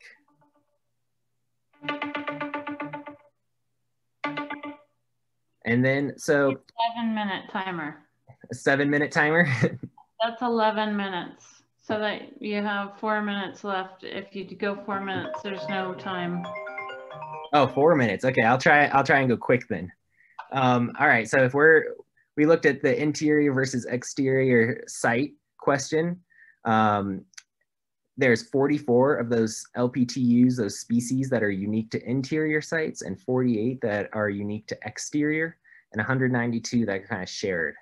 So there's actually a pretty big shared pool of species um, with only a few unique to interior or exterior sites. And here's just some of the cool little pictures of some of the, the arthropods we found down there. Pretty cool. Um, so this was a neat finding. Um, we were looking, when you compare the interior versus exterior pairs. So down here you can see the orange um, exterior site, the urban edge site, paired with the interior, the green site. And what's happening in this graph is we're looking at the, the, the difference in diversity on uh, between uh, the, the pairs of sites, the edge and the interior pairs. And this graph shows you um, A, the, the percent difference. So for example, Bell and Gateway, about 50% of their species are different when you go from the edge site to the interior site. Um, and you can see that, you know, that's, it, all of our sites are between that 40 to about 55% difference going from the edge to the interior. Um, the other thing this graph shows is how they're different, right? Because if you take two sites, they can either be different because one species gets replaced by another site or by another species at another site, right? So um, you go from Bell and you have uh, an ant species A and you go to Gateway and it's replaced by ant species B. That's called turnover. That's a species turnover. Um, and then the other thing that can make sites look different is nestedness when a species is lost. So you go at Bell, there's ant species A, and then you go to Gateway and there's nothing. We just lost a species. And what, so that means one site is a smaller subset of another site. And so here the dark, the dark bands represent the turnover and the light bands represent nestedness. So the takeaway message is that all this is mainly driven by turnover. So when you go from the edge of the, the preserve to the interior, you're, we're seeing this replacement of species. So one species is being replaced by another. We're not losing species, which is good. Um, I'll try and go quick here because I know I don't have much time. So uh, the uh, other big finding was relationships with climate. And this is pretty standard, um, right? We have all these groups that share positive relationships with precipitation. Phoenix, dry place. Um, so obviously when there's more rain, there's gonna be more bugs and things like spiders, true bugs, beetles, bristletails, these all have positive relationships with precipitation. Here on the right, we have this um, uh, 2D space of, of community composition. So this is just a way to visualize uh, the arthropod communities. Each one of those circles or triangles represents one of our sites at one date. And so if they're close together, they're similar in their community composition, similar bugs. If they're far apart, they're different in their composition. Now, two big takeaway messages. Um, one, you can see that exterior and interior sites are pretty mixed. So there's actually not a whole lot of difference between the urban edge and the interior of the preserve in community composition. But you can see the secondary variables mapped on um, correlate really well. These are correlations with precipitation and temperature. So it's not the edge versus the interior that's driving the differences in arthropod community composition. It's really relationships with climate, things like precipitation and temperature that are driving our, our arthropod community composition. So hopefully I can wrap up here in a, in a minute. Uh, so ground dwelling arthropods, again, similar between exterior and interior sites, the, the composition is, but there are some important differences of turnover. Um, there are some species replacements. Um, and this kind of contradicts uh, work from other regions and in other communities that show that the urban edge is impactful to arthropod communities. So that's interesting. Maybe um, uh, here uh, in my second point, climate, especially precipitation is linked to the arthropod community dynamic. So maybe precipitation is just the overriding factor and it's such a strong factor that um, the urban edge isn't as impactful. And with that, I just want to acknowledge um, a whole bunch of people and many citizen scientists um, that helped with this project. And um, I think with that, uh, I'll, I'll end the, the presentation. Thank you for having me. All right, thank you so much. We are running a little bit behind time, unfortunately. You know, the best laid plans never quite work out thanks to our virtual world. Um, so again, I encourage you to put questions in the chat and we will address those during the break or afterwards as we have time. We have just one more presentation to get through before our break. We are going to run into our break just a little bit. I apologize to all of you, but we'll make sure that we get to that. Um, so now I'm going to turn it over to Helen again, as well as Dan Gruber. I already introduced Helen. Um, Dan, many of you know, He's been a steward since 2003, and he's kind of the incentive behind the Parsons Field Institute, and he's the one who pushed to make it a reality. He's still heavily engaged in the strategy that we have and plays a huge role in the Conservancy's education efforts. And Dan remains very involved in a lot of the projects that we have, including our IUCN work. Take it away.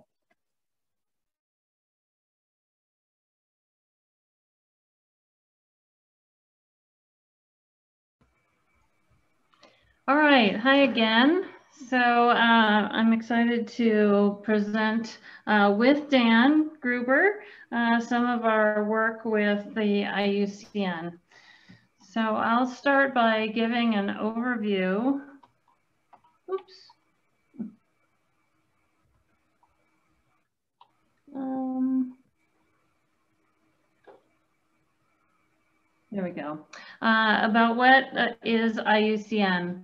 The mission for IUCN is to, to influence, encourage, and assist societies to conserve the integrity and diversity of nature and ensure any use of natural resources is equitable and ecologically sustainable.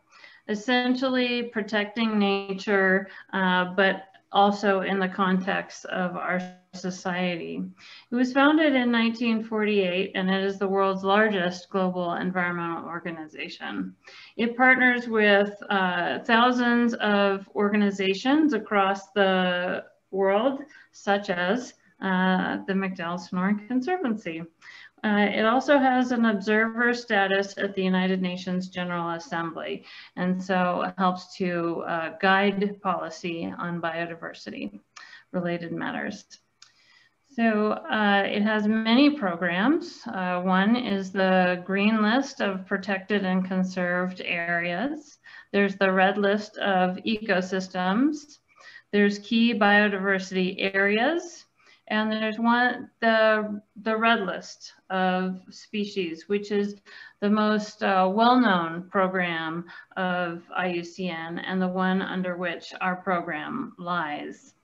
Uh, there's also new programs coming out uh, on restoration and conservation.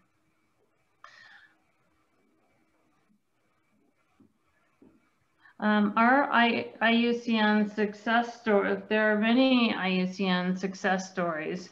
So the way that uh, the red list works is uh, it has assesses extinction risk across species, helping to catch um, species of concern, and then planning and implementing conservation strategies to protect these species shown here, and also species like these. So you might wonder, um, why did the McDowell-Sonoran Conservancy uh, begin the Sonoran Desert Plant Specialist Group? And the reason is so that we can help to uh, assess the plant species of the McDowell-Sonoran Preserve.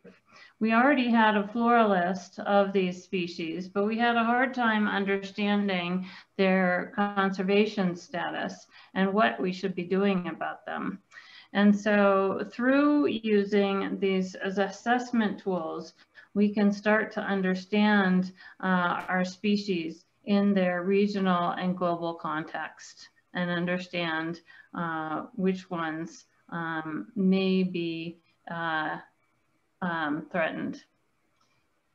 And so, and from there, um, and also working with the almost 4,000 species across the Sonoran Desert, we can move into planning and acting um, on conservation planning. The way the red list assessment works um, is it uses a globally used standard for assessing threats and species level probability of extinction to categorize each species into one of these threatened categories, which you'll note includes uh, these least concern category, which would means is obviously you're not concerned, it's widespread and doesn't have population declines, and also data deficient species that need um, more uh, information about their populations. And so here's how it works. We have uh, to the left here, these are the data field, fields that we need to fill out and uh, to draft the assessment. That information, uh, we then use the criteria. There's five criteria that I referred to before, and each of those have numerical thresholds that help us put these into categories. So our targets um, as the Sonoran Desert Plant Species Specialist Group is vetting the Sonoran Desert Plant List, which is nearly 4,000 species. And that has been done for all the species taxonomically. And we, right now we're not at our target, but we hope to eventually, once we have our, all our planning in place, to be able to hit 250 to 500 assessments per year. And then once we start understanding which species are in need of um, conservation planning, starting to get into that realm. Also, our invasive species survey and removal work that we do um, ties into it. Um, and also we can work with partners for in situ or actually ex situ conservation. So now I'm going to turn it over to Dan for a little bit. Thanks, Helen. Hello, everybody. Um, as you may have gathered from the earlier slides, the IUCN assessments are very detailed and very thorough. Uh, and this is a very ambitious effort involving a number of parties. Um, a lot of the foundational work um, has been done by the Parsons Field Institute and the Citizen Science Program. Um, you can see all the, um, all the different steps we've been engaged in, including providing support and training for um, multiple uh, classes now of um, NAU students who are working with Helen to uh, also do uh, some of the work. Uh, they are in fact uh, developing a threats map and um, beginning to draft assessments. And all of the statistics that are being developed and all of the uh, maps and the preliminary assessments will then be provided to a, an expert panel who will do the final detailed evaluation. Next slide.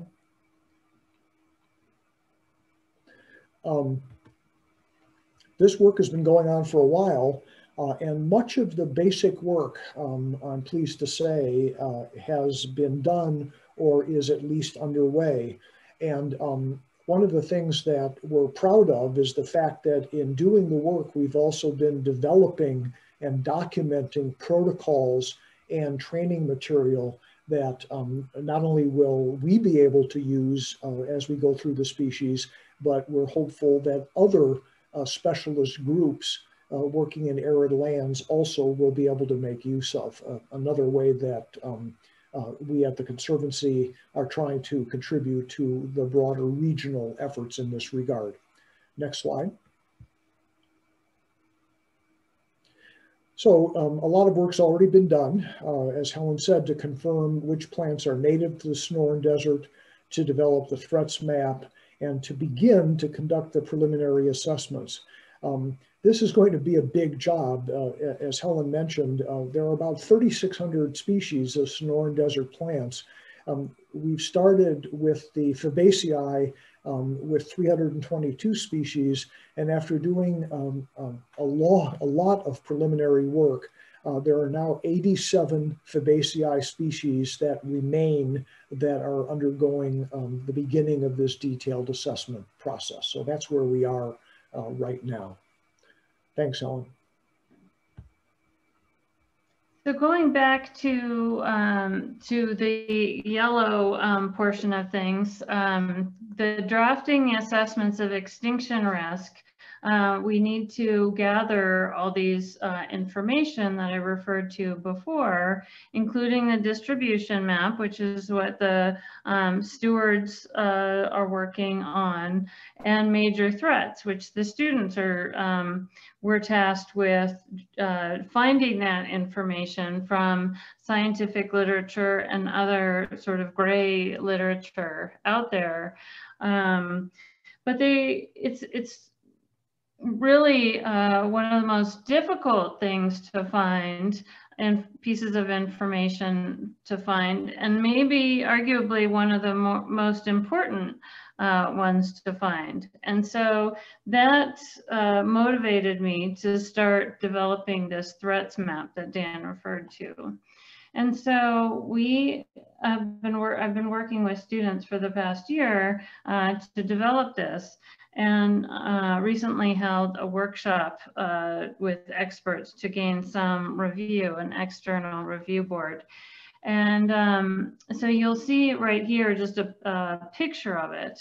Um, but it currently has layers of uh, urbanization, mining, uh, some power facilities, transmission lines, roads, so many different threats that are on the ground, uh, spatial and mappable. Um, we are missing some layers, uh, particularly in Mexico, and so that will be the next step in this project.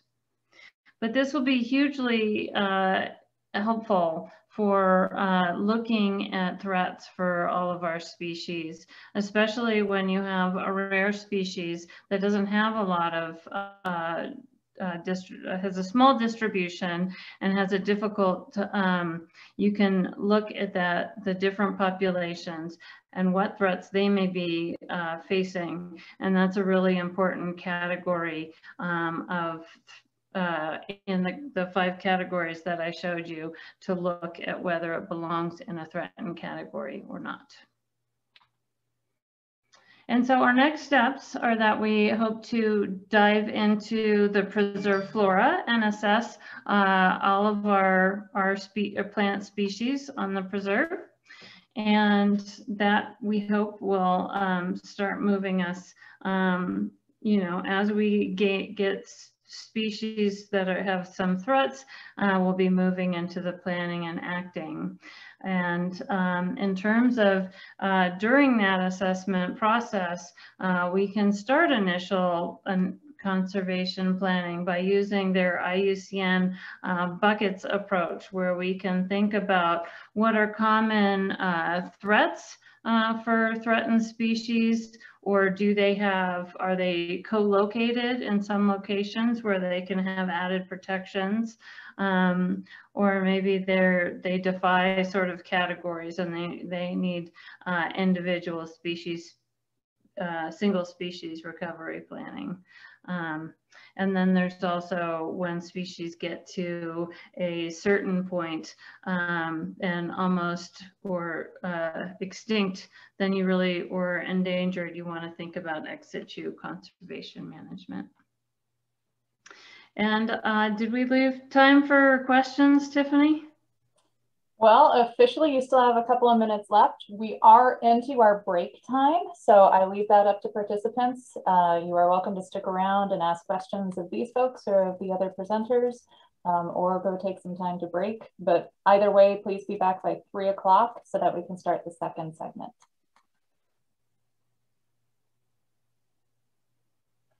So we did get one note on this presentation. It says that the IUCN work is a huge worthy undertaking, and I thoroughly agree.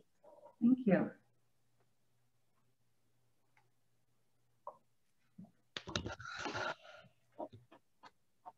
So while we're on break, if we still have Debbie here, you got a couple of additional questions in case you're interested in responding to those. Well, I'm still here. Okay. Um, so one of the questions we got is where do the bats go in the off season? We don't know. We Unfortunately, we don't know where the bats go in the off season. We don't know where they go to hibernate. We we don't have tracking devices on them, so we really don't know where they go. They go south to a warmer climate. they go to some, they go to some cave to hibernate. so then the other question that we got is, do we know anything about bats that might use the preserve other than the ones that are at the mine that we're researching? Um, well, we there hasn't been a lot of studies being done on bats in the preserve, but we do know there was a pilot study done by a student, a master's degree student, uh, Jessie Dwyer, a couple of years ago, and she put acoustic monitors in the gooseneck area, or uh, for those that don't know the preserve, uh, this corridor between, very thin corridor between the northern south of the northern part of the preserve and the southern part of the preserve. So she did a study. She was doing uh, her for her research thesis. She was doing the uh, a study in the Phoenix area, so she added three acoustic devices in it was in the summer of 2019. Recorded for 14 days, and she uh, found there are actually 24 to 20 23 to 24 species found in the Phoenix area, and she found 12 in her research species that are using that that were using that part of the preserve at least. What they were using it for is a, a different question. It'd be, it would be interesting to see uh, if they do that same research in a couple of years after all the urbanization is in taking that area. Yeah. We will be putting, one of our uh, acoustic devices will be put in that area, one of the five that we'll be doing, but we will not be out recording data for 14 days, probably seven. But it would be very interesting, you're right. Tiffany, do you are you aware of any other research that's been done? We we tried there was what we tried to do mist netting in one area and got rained out so we don't have that. So that's the only one I know of. Yeah, in the preserve, I'm not aware of anything else that's been done. There's a lot of work that's been done around the preserve. Um, right, Rio Verde for sure. Yeah. Any Thanks. other questions for anyone? Thanks, Helen and Debbie and Tiffany. Thank you. I'll see you at three. All right, gang. Promptly at three o'clock, we're going to get started. Thanks so much, everyone. I'm gonna mute everyone again. Sorry about that. Mary, again, need to unmute yourself. Um, but we're gonna get this rolling again. And to start us off, I wanted to introduce Mary Fastiggi, who is the Parsons Field Institute lead. She joined our staff in 2019 and has just been going crazy since then. Um, through her, we've really been able to expand our regional efforts, further our engagement with the Central Arizona Conservation Alliance, and with our other regional partners. And John gave a really introduction of her during his presentation. So I'm just gonna stop talking and let her take it away. Thanks, Tiffany. Um, so welcome back, everyone. Um, I really enjoyed learning more about our long-term monitoring projects, and I hope that you enjoy learning more about the projects that fall more primarily under our second two priorities, um, where we're going to focus more this afternoon talking about improving management practices. And so let's see if I can click here.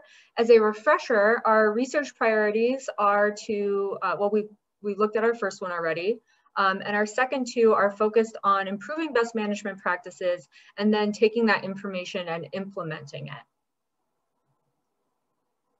And so our priorities are obviously focused on arid land. And one of the reasons for that is that we are located in the Sonoran Desert and care about this particular ecosystem.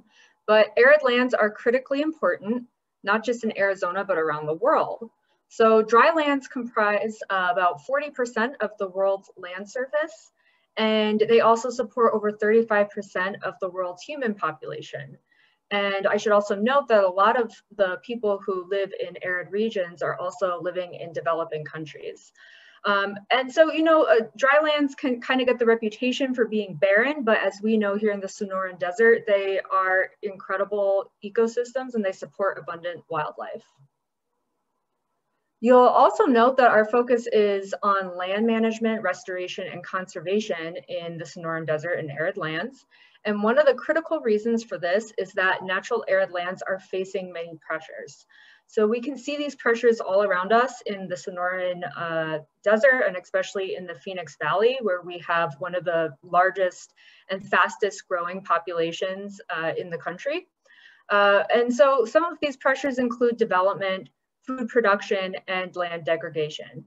And to compound this, this issue uh, is exacerbated by climate change. It adds a layer of complexity to the issues, and much of our work is designed to address conservation issues given this complicated picture.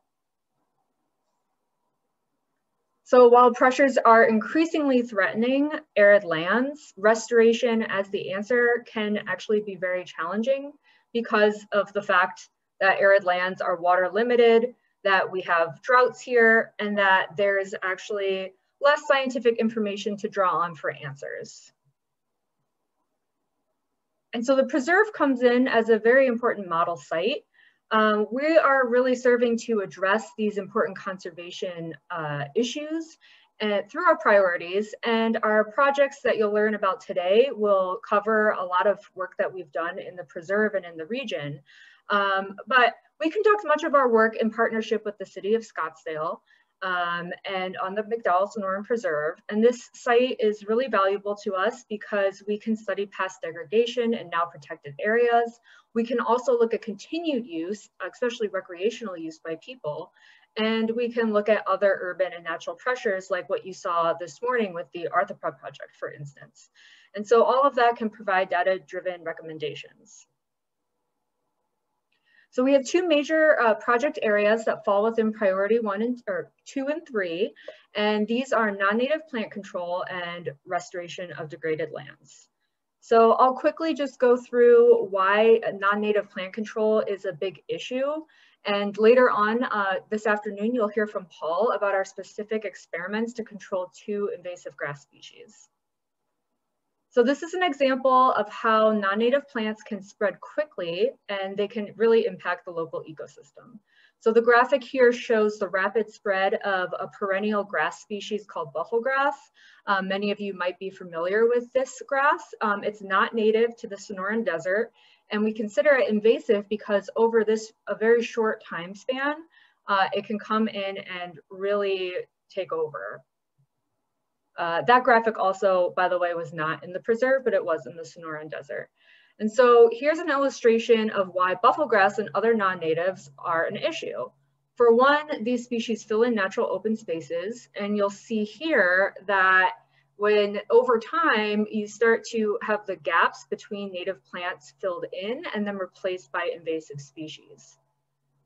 One of the major issues with this is that that then increases fuel load on the land, making hotter and more frequent fires a major concern for the desert. It also displaces native plants, alters wildlife habitat, and it's difficult to control. But we are fighting the good fight here with our amazing Corps of stewards, stewards and in partnership with other conservation organizations in the Valley. Um, these invasive species often spread um, and they're very widespread and in remote locations. They can regrow from their roots and it requires multiple years of effort to go back on a consistent basis, treat and retreat these species. So what are we doing to combat invasives? You'll learn a little bit more about that today, but we have a huge amount of projects going on and we hope you'll learn even more over time. We're mapping, we are controlling populations, we're researching best treatment options, we're collaborating, and we're educating the public on this issue. Um, another main focus for us is restoration of degraded lands. We focus on this issue not to put things back to the way they were before they were degraded, uh, but rather to combat habitat degradation and fragmentation because we, we know that habitat loss is a major concern for the globe right now. And what we really need to do is improve ecosystem functioning and then increase the native plant and animal diversity. So we have to take into account the complex challenges of degradation and we have to adapt to them and try to improve the ecosystem functioning. Uh, some examples of areas that we have restoration projects include old roads, widening trails, and other uses. Uh, just like we have challenges with the non-native plants, uh, restoration projects ha also have their challenges, especially in arid systems. We're often looking at huge areas that are difficult to identify and prioritize. There's logistical constraints and natural barriers. So what we're doing, uh, you'll learn a lot about these uh, restoration projects this afternoon. We're mapping sites, we're researching best treatment options, and we're planning and implementing conservation pr uh, practices. And for our presentations this afternoon, we'll start off by learning more about our non-native plant experiments. Then we'll learn a little bit about how we're dealing with that, those issues of identifying and prioritizing restoration sites. And then we'll move into a lot of other uh, restoration projects that will be covered in one longer presentation by Debbie and Jane. So thank you, and I hope you enjoy our presentations uh, this afternoon. All right, fantastic. Thanks so much, Mary.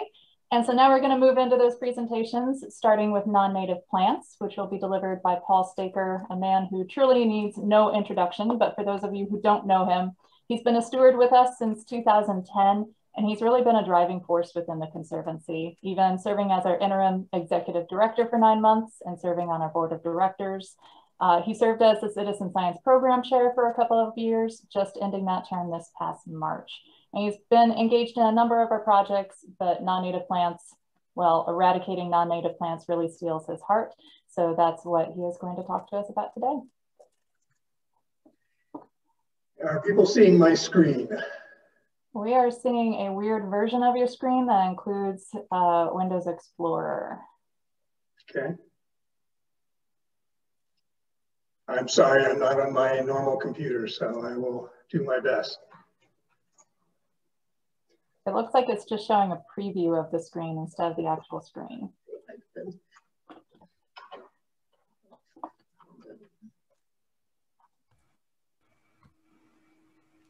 Yeah, Paul, you need to actually open. Right, you got it.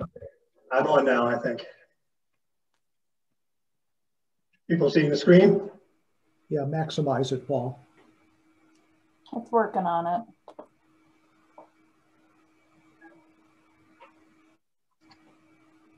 Okay, um, thank you, Tiffany.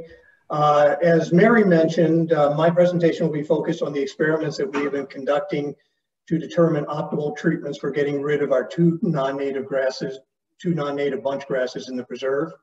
Uh, I want to thank Helen and Tiffany for their assistance with uh, the work that we've uh, done that I'm going to be talking about today. Um, I apologize.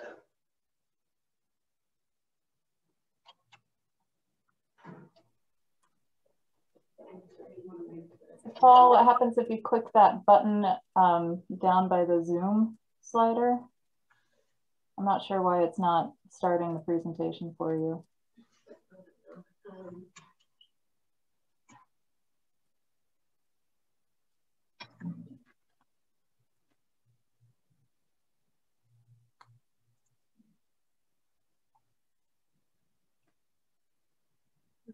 Oh, technology. Tiffany, is it easier if you do the slideshow and Paul just tells you when to move to the next? Happy to do that. Let me get it loaded up on my screen. I apologize, everybody. I've had some internet problems today and uh, I'm not on my normal computer. We will get it figured out. Yeah, I don't know if anyone else is having internet issues, but Cox really had it out for us today. But thankfully, we found workarounds for all of that. Oh, did you try and uh, down here on the bottom, uh, lower right, there's that, looks like a screen. Did you try and click on that? Yeah, it wasn't this side. Let me share mine. The only downside is if I'm sharing mine, I won't be able to monitor questions in the chat. So Helen or Mary, if you can help out with that. I'll help out with that. Thank you.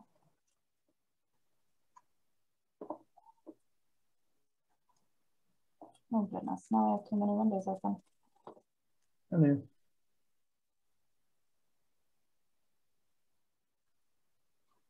There you go.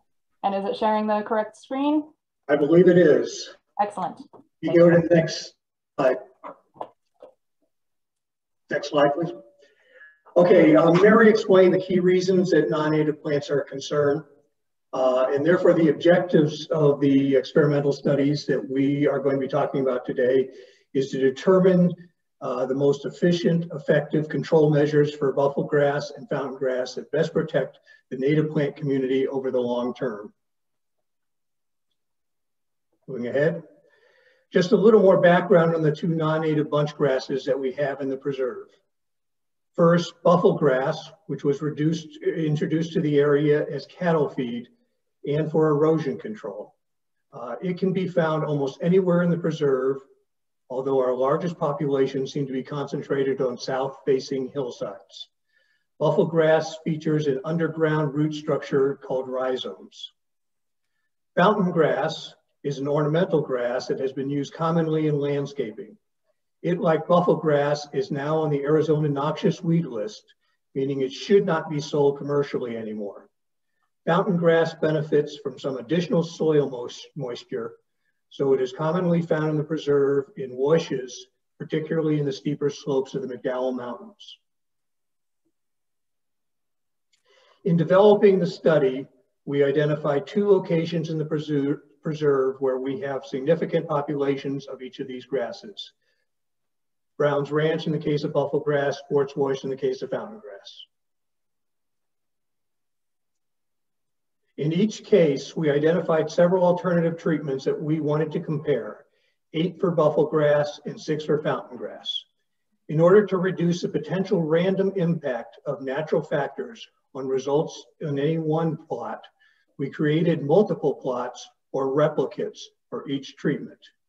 Each plot is a five by five meter square. This slide shows the different treatment options that were identified for each of the grasses. Six treatments were used for both buffelgrass and fountain grass. First, we included both an uninfested control plot and an infested control plot to determine what might have happened naturally without any treatment. Who knows? Maybe the grass in the infested control plot would miraculously disappear all by itself. We had a pole plot where we did a physical removal of the plants by digging it out with a pick. The other three treatments all featured herbicide application. For this purpose, we used a mix of 3% glyphosate diluted with water. We included a cut and herbicide plot where we first cut the grass down to its base with a weed whacker waiting for the base to begin to green up again, and then applied herbicide. One rationale for this treatment was that the herbicide might be more effective if it could penetrate more easily to the root system of the plant. And we had read that the effort required by the grass to produce new shoots might make the herbicide more effective. And finally, we had two treatment alternatives where we relied exclusively on herbicide, either applying it once per year or alternatively twice per year after both the summer and winter rains. For buffelgrass, we added two more treatments since our background literature review suggested it might be more difficult to eliminate the fountain grass than fountain grass. We added a pole and herbicide treatment where we would go back and spray any new growth that appeared after we had first pulled out the main plant. And we added a third herbicide only treatment where we would spray three or more times per year, basically trying to spray it every time it greened up. This slide provides a quick visual of the three main treatment techniques, pulling using picks, cutting using a weed whacker, and spraying herbicide. The study focused on four key parameters, effectiveness in eliminating the non-native and reducing any regrowth, the cost of the treatment, the time to complete the treatment, and the effect on the native plant community. For purposes of this presentation, I will combine the cost and time elements since they are closely correlated. The protocol that we have used in the study to determine the impact of the alternative treatments on the plant community, both native and non-native, was to complete a survey every spring. In each square plot, we run five transects along its length with 20 point intercepts along each transect. This results in 100 spots within each plot where we identify the plant or plants at each spot, gathering data for every one of them every year.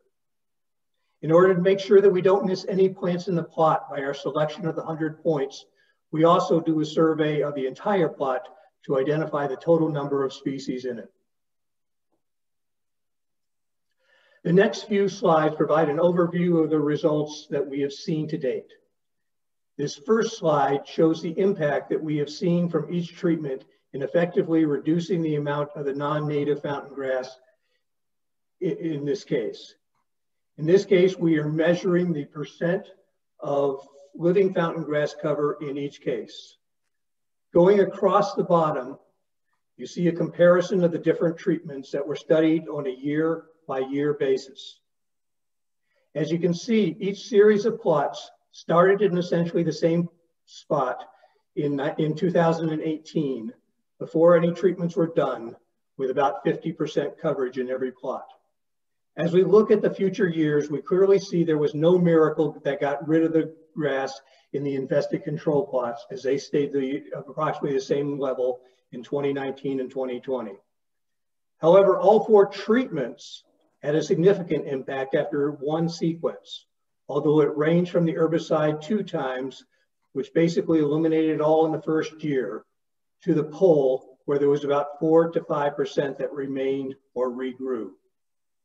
By the second year, 2020, we had eliminated almost all the grass in all of the treatment plots.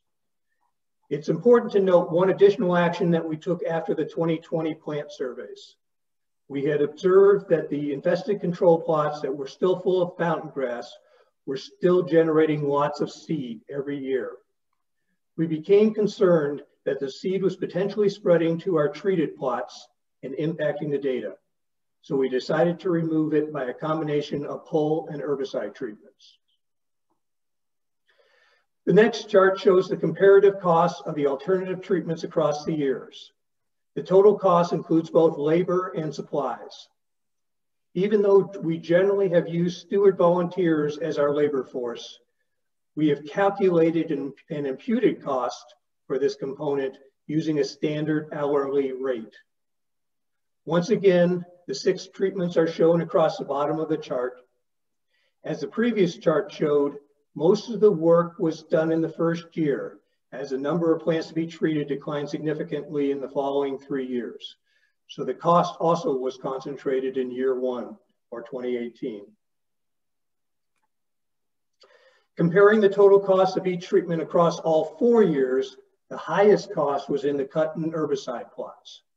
We found that using a weed whacker was very difficult in rocky terrain, and we used quite a bit of plastic string as it continually broke on the rocks herbicide application and physical removal were more comparable as the cost of the herbicide supplies offset the higher labor costs associated with the more time, time consuming physical effort of pulling. The final chart relates to the related to fountain grass measures the impact of each treatment on the native plant community. It portrays the living native plant cover by year in treatment. The first thing you probably are observing is that the number of species is, is much higher in 2019 and 2020 than in 2018 or 2021. Why is this? Rain. Mary had already talked about that, but we had two relatively wet years in between two years during which we had little rain. These two pictures were taken during our Browns Mountain plant surveys in two different years in roughly the same location at roughly the same time of year, but you can see the significant di difference in the vitality of the plant community during those two years. So the single biggest determinant of native plant cover seems to be weather rather than anything we accomplish with our treatments. But what else can we see in this chart? Overall, the bars for the different plot treatments seem to largely go up and down together. The one treatment that was statistically lower in the number of plant species in 2019 was the uninfested control plots.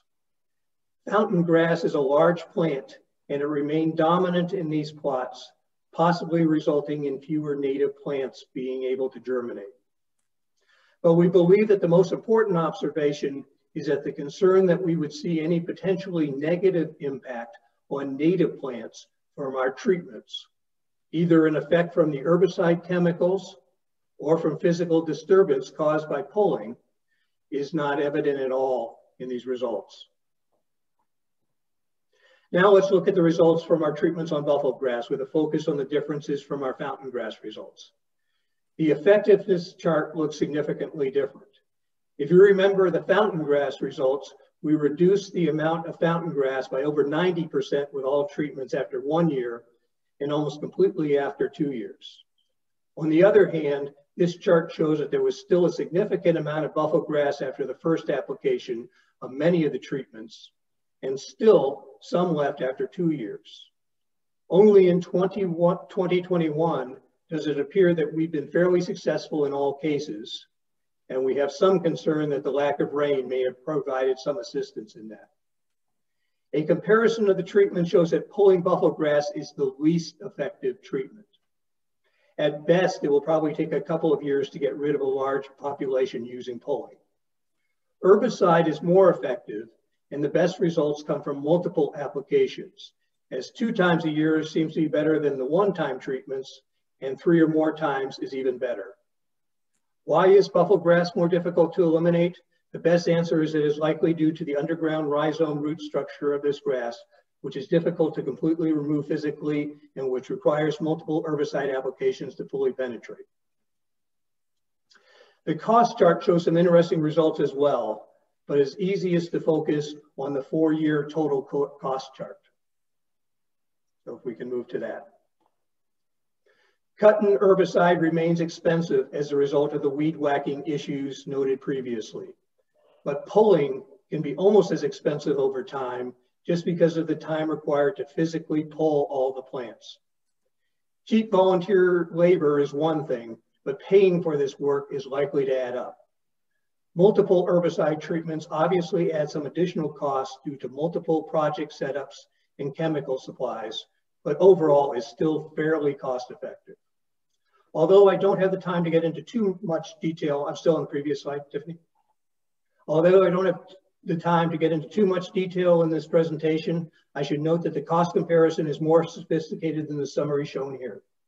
For small areas with limited, limited buffelgrass populations, our analysis suggests that pulling may actually be less expensive than herbicide application because of the time associated with setting up the herbicide project, including donning personal protective equipment and mixing the chemicals. However, as the size of the effort increases and the time and cost required to set up the project is spread over the increased project scope, herbicide becomes more cost effective. We move on to the next one now. The living native plant cover chart again shows that the treatments, including multiple herbicide treatments or extensive physical pulling, did not seem to negatively impact the native population in the buffelgrass environments as well.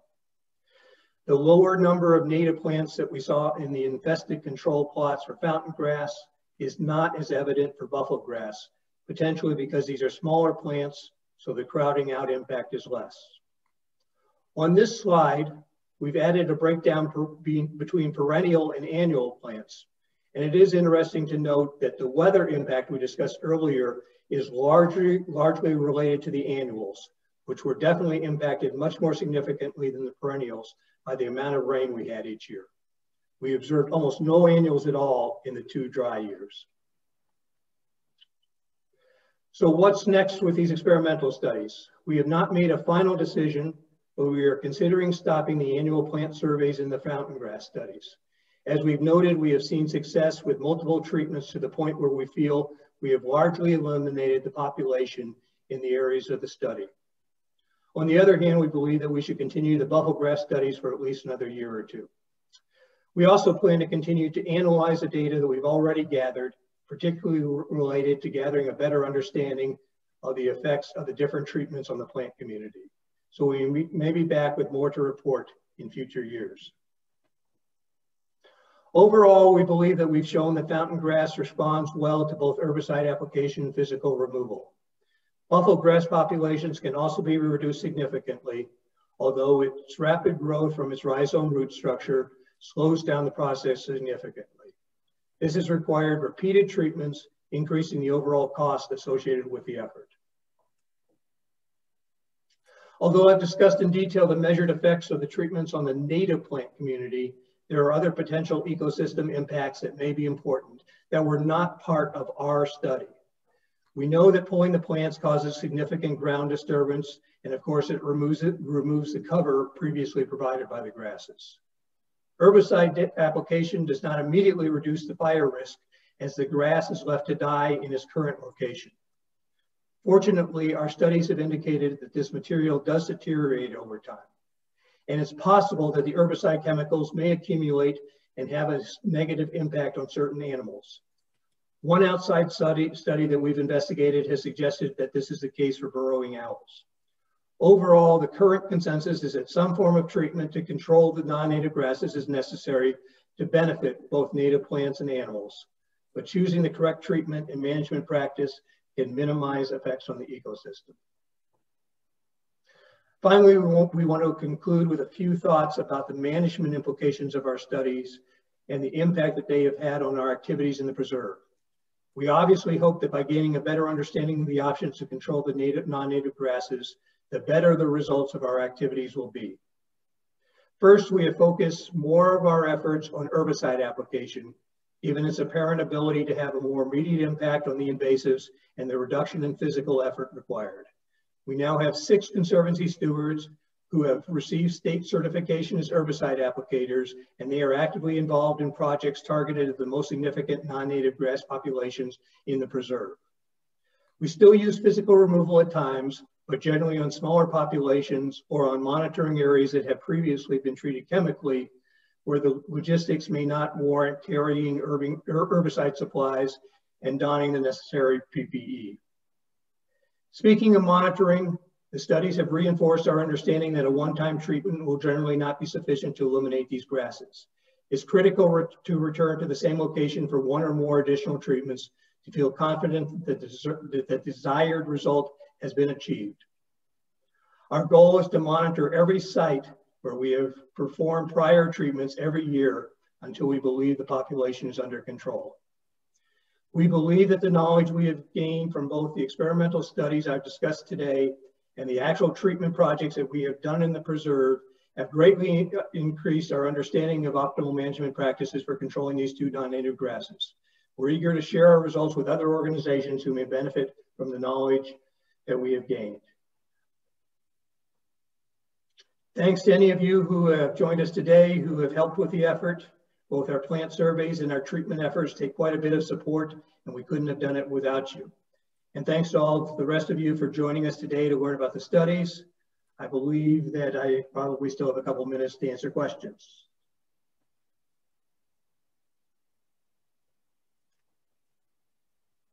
Mary, you're on mute. Thanks. I said thanks, Paul. That was really great.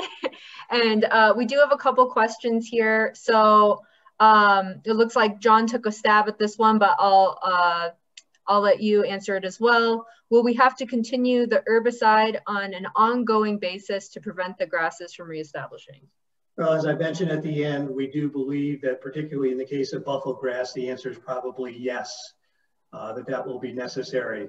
Uh, in the case of fountain grass, what we're often doing based on the fact that we think that the herbicide is generally fairly effective in the first year, uh, we're often going back and we are monitoring, but we're awful, often just uh, carrying a pick with us and doing those as physical removal projects. So it depends on the situation and how much we've seen in year one that determines what we're going to be doing in future years.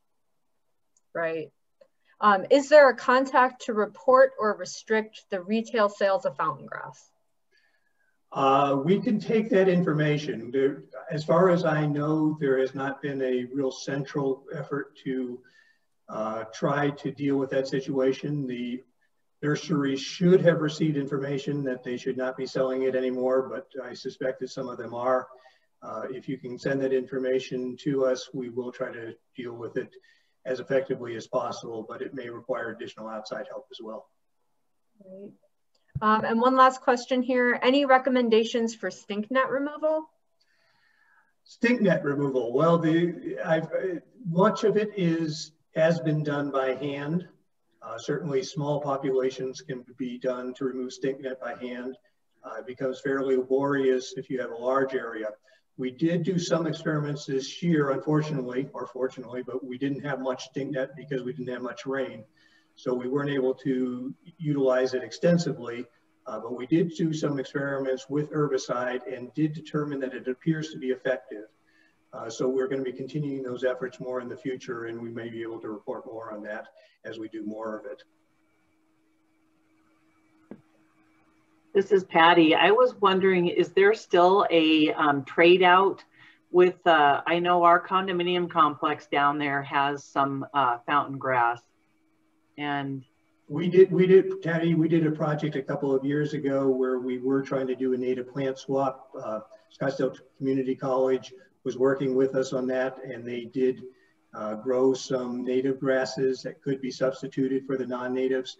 Uh, with COVID, we've had to suspend that effort, uh, but it may be something we look at continuing in the future, uh, maybe with some variation from what we did back at that time.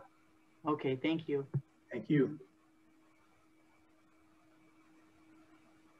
There's another question here. What type of, ooh, okay.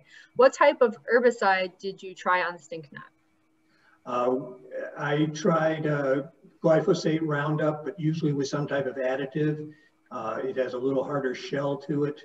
Uh, so there are other products, uh, Roundup Plus uh, will do it. there's a product called Ortho Ground Clear that you can find commercially that has some additional additives in it. both of those seem to be fairly effective. Paul, this is Bill Bernard. Uh, there's a lot of uh, there's a lot of fountain grass along the streets of both uh, Scottsdale and Fountain Hills. Much of it has been plotted. Is anything being done with the cities to remove that or to get it treated? It's a great question, Bill. I am not sure what their current initiatives are. I have seen a couple of places where they've done some work uh, as much as I, I, actually believe much of that is due to trying to create some fire break along some of the roads, uh, but that at least gets rid of some of it.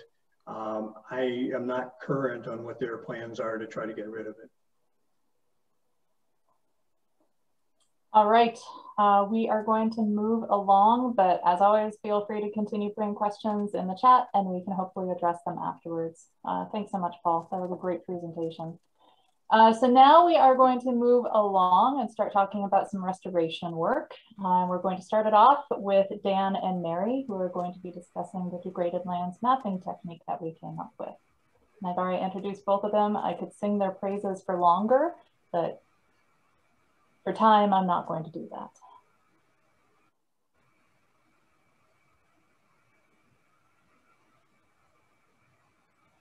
Okay, uh, so thank you, Tiffany. Am I, I'm not on mute, right? You're okay. Okay, thank you. Um, so Dan and I are excited to share with you this project. Uh, this is a methodology that we've been developing that uses citizen scientists, it uses Google Earth and other remote satellite imagery to identify degraded uh, areas in the Sonoran Desert Um, the example in this presentation is the preserve, uh, but we have moved on to apply this methodology to uh, two of the uh, regional parks. And so both Dan and uh, Helen developed this method and I've been working closely with them on this project since I've began uh, my journey with the conservancy. So uh, as an introduction, we've learned a lot about restoration and why we want to restore lands. I kind of think of a degraded site as a piece of property that's like on low battery. So it's uh, an area that can't really, um, it, it can't really hold the same amount of, uh, of, of rich habitat uh, value because it's missing so many different pieces. So what we want to do is we want to kind of bring that battery back up because habitat degradation is one of the primary causes of species extinctions and loss of biodiversity. So habitat loss, fragmentation, as well as degradation are really important issues for us to address.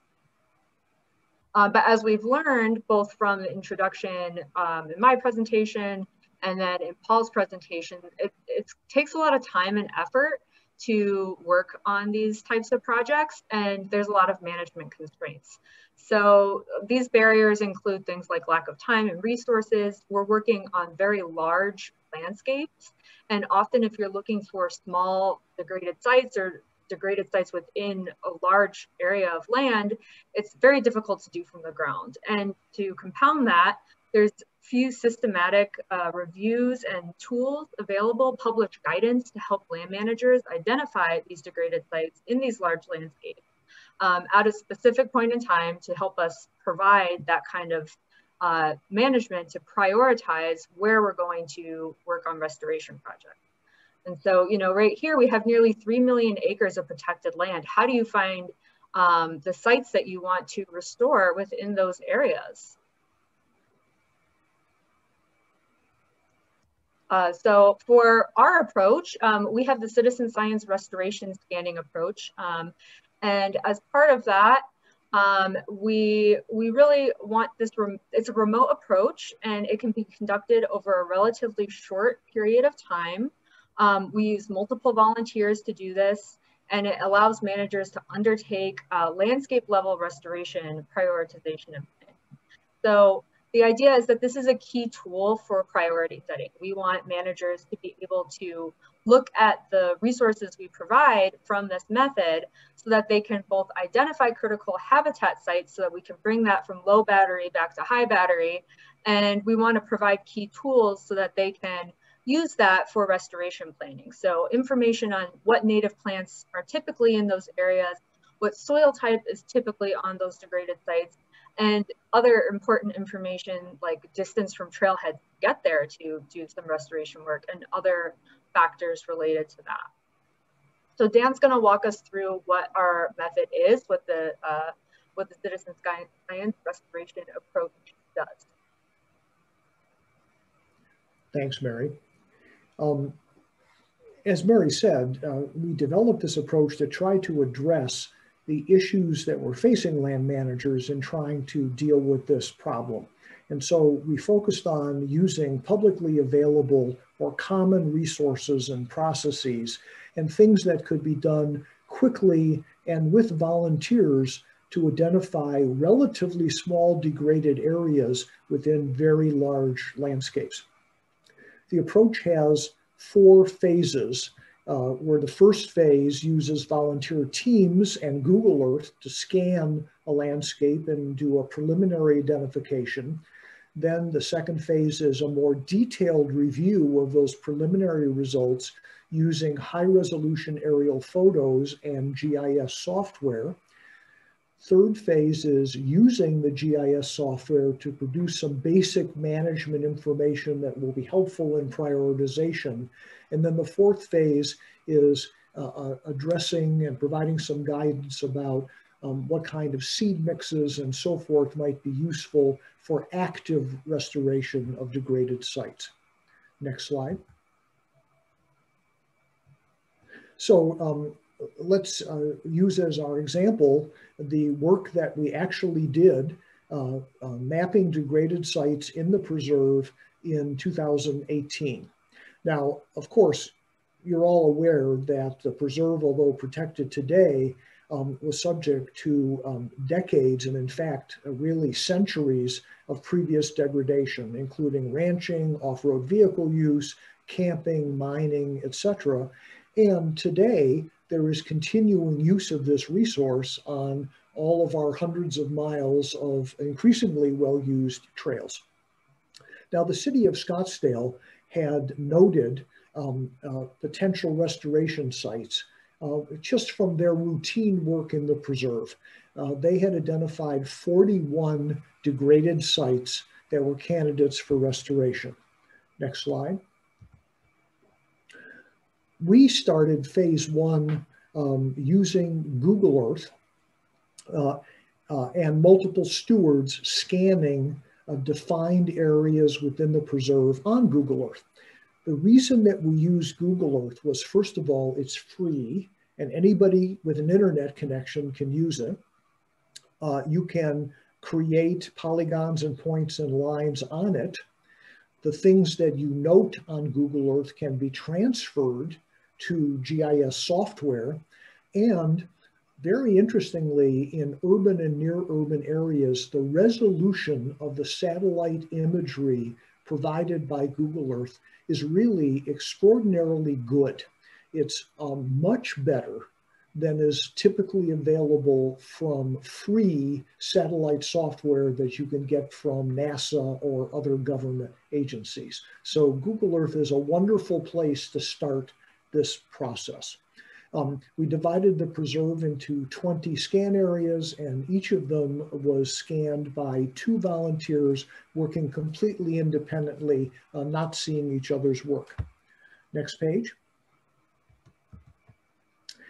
So we provided uh, training to the volunteer team, including examples of distinguishing natural areas that didn't look great from actual degraded areas.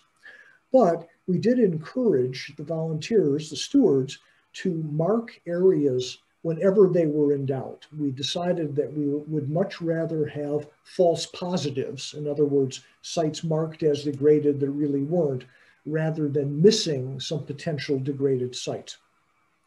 Uh, in the second, uh, the first phase uh, produced 376 potential degraded sites.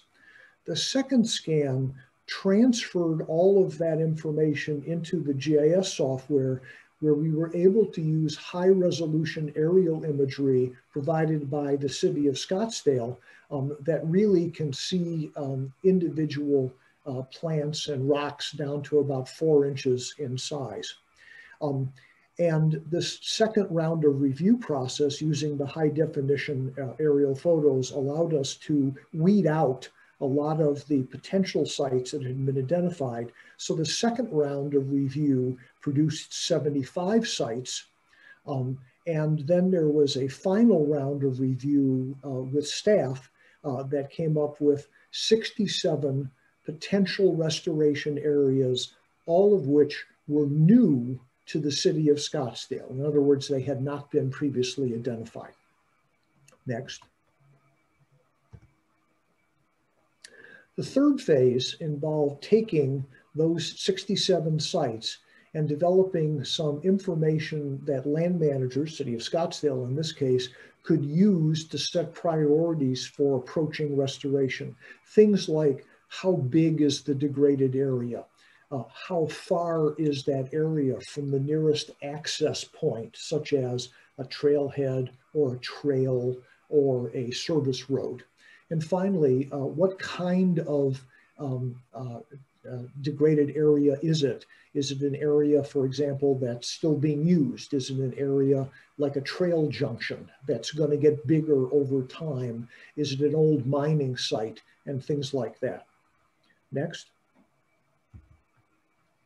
And the fourth phase was um, trying to provide custom recommendations. Now, some sites can be restored passively simply by preventing further disturbance and let nature take its course.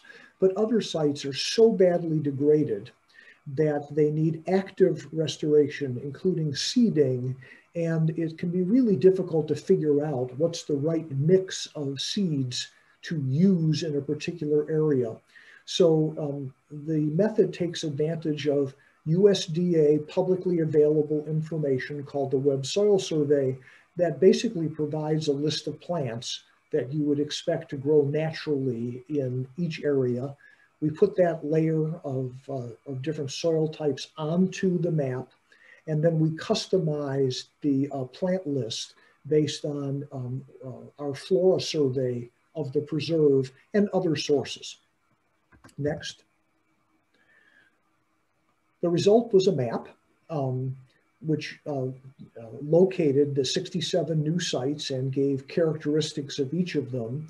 And these 67 sites ranged in size from about 50 square meters, not very big, up to more than 10,000 square meters, which is very big. Um, and the total was 10 and a half hectares, which is about 26 acres of uh, degraded sites. Next. Right. So Mary, back um, to you. thanks, Dan. So we use this methodology remotely and we knew that this process was cost effective. We were using free tools and, um, and having many hands make light work of the scanning process. So we knew it was useful to identify degraded sites, but we wanted to verify our results and compare those remote results to what we would find in the field. So we, uh, in the fall of 2020, trained stewards to visit a subset of the 67 sites. Um, and so we visited 22 of the degraded sites that were uh, found remotely, and we went about verifying the remote uh, the remote process by looking at uh, the area on the ground. We estimated the percent of uh, plant cover that we were finding, um, but we made sure that we weren't including things on the ground that you wouldn't be able to see from satellite. And we also uh, compared the description of disturbance type and we took some photos as we were out there. So we compared those estimates and the cause of disturbance and our result ended up being uh, really positive for our remote process. So we found that all of the sites that we visited were in fact degraded. So there was no false positives. Um, and we also found that the remotely sensed approach provided a better perspective of both the scale of the disturbance and the type of the disturbance. And you can kind of imagine that if you're on the ground, it might be difficult to see the entire spider trail network that goes through an area, um, rather than if you're looking at it by a satellite, being able to see the entire um, perspective, which really illustrates a distinct benefit of using this remote process um, for discovering and then um, being able to prioritize these degraded sites. And so the management implications for this is that this process has a lot of value. Um, we know that this remote approach is a good way to identify degraded lands. Um, we're very excited that this methodology is providing um, a new tool for land managers.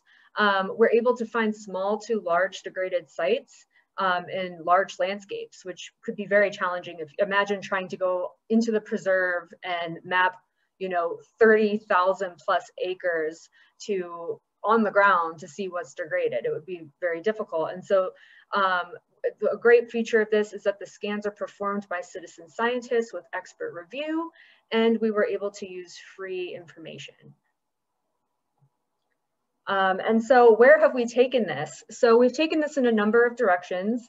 Um, we've now had a total of 67,000 uh, acres scanned in the McDowell Sonoran Preserve, and we've moved into the two regional parks listed here, where we've also found quite a few number of degraded sites that were previously unidentified by the county. And so uh, what we're doing next is our next steps, um, we've submitted a manuscript on this methodology to Restoration Ecology, which is in review. And we are working with the city of Scottsdale on a subset of the sites that were identified through this process and also that they have uh, identified as places for restoration planning. And we will be doing more mapping with the county. And so huge thanks to all the citizen scientists who helped make this project possible and to the city of Scottsdale and more recently to Maricopa County Parks um, for working with us on this as well. Thank you. I, just, um, I don't know if we have time for questions because I heard the, the timer. We've got time for maybe one. I haven't seen any pop into the chat.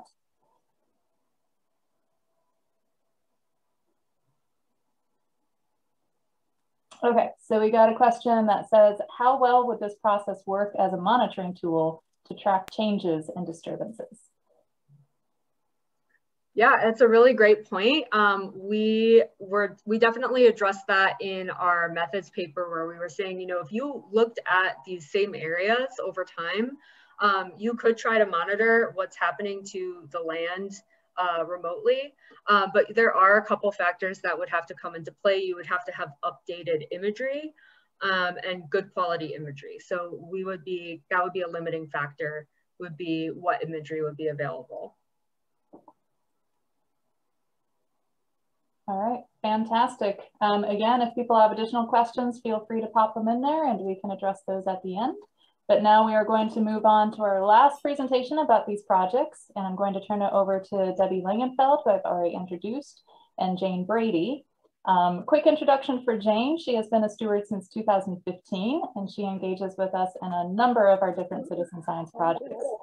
She is always eager to jump in to do whatever is needed to make our project successful, and that includes becoming co-chair of our restoration projects. And so that is what they're going to talk to you about now. All right, can, can you see it? I had a little technical difficulty there. Can you see it? yeah. yeah. Oh, good. Okay. So um, thank you, Tiffany, for that introduction. And as she said, Jane and I are the citizen science leads for the restoration project, and we work with Helen, Tiffany, and Mary Ann, and Anita Antoninka, our research partner from NAU, on several restoration projects.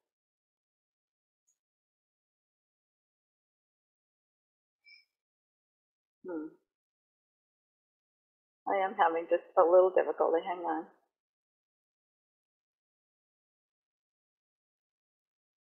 Hmm. I'm trying to get rid of something on the top of my screen um, that I can't figure out right now. Ah, there we go. Well, Dan and Mary have shown how to find sites that have been damaged now let's see if we can help them make an informed decision on how to restore them. Ecological restoration is about helping damaged areas recover to a natural state while improving ecosystem functioning and resilience. Success is largely dependent on the ability to grow native plants, but knowing how to grow them in a controlled environment such as a greenhouse is one thing. Growing them in a natural setting, such as the arid Southwest, is quite a different thing. That's why the word assisting is so important in the definition.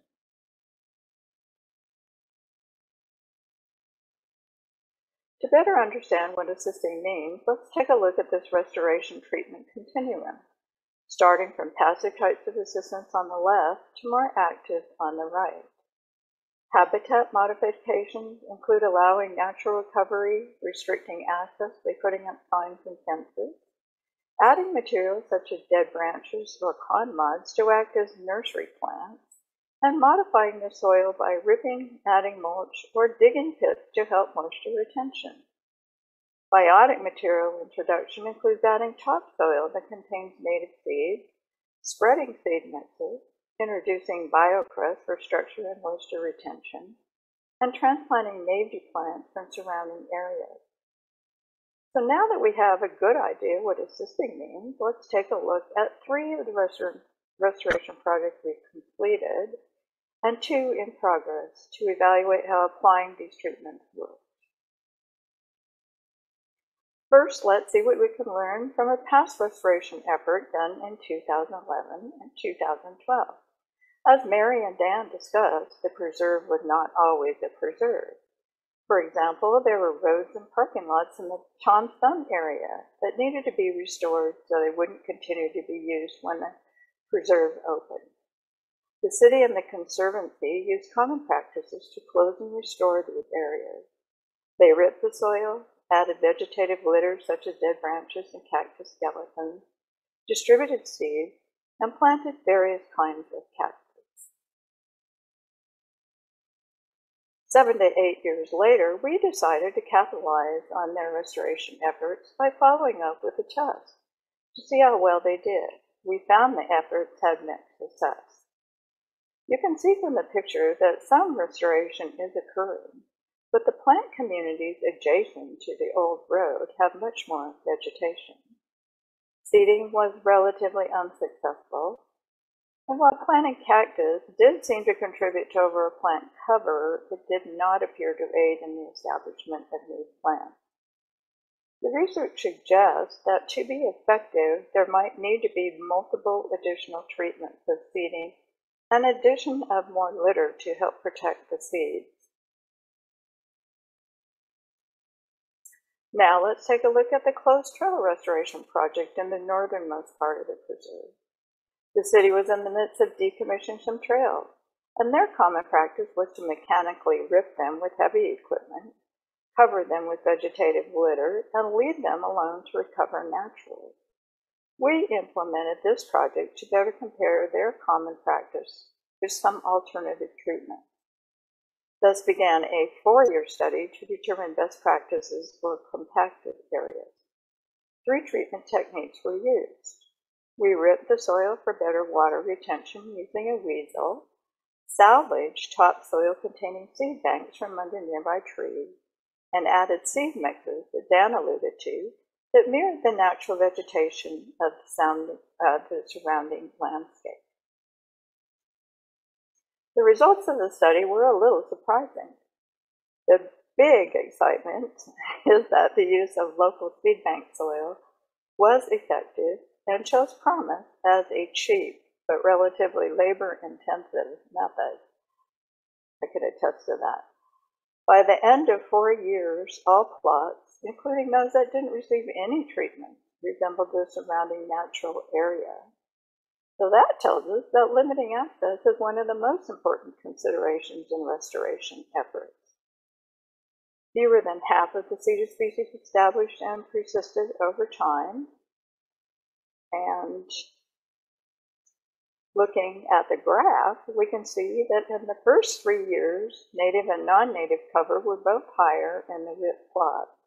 But as conditions changed in 2020, and we've heard that a lot today, and it was a bit drier, unripped was the better treatment for establishing native plants.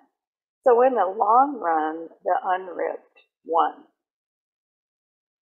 So these are the two projects that we completed. And as John said, the manuscript for past restoration has been published in American Midland uh, Naturalist, and the one for Old Trails submitted to Restoration Ecology.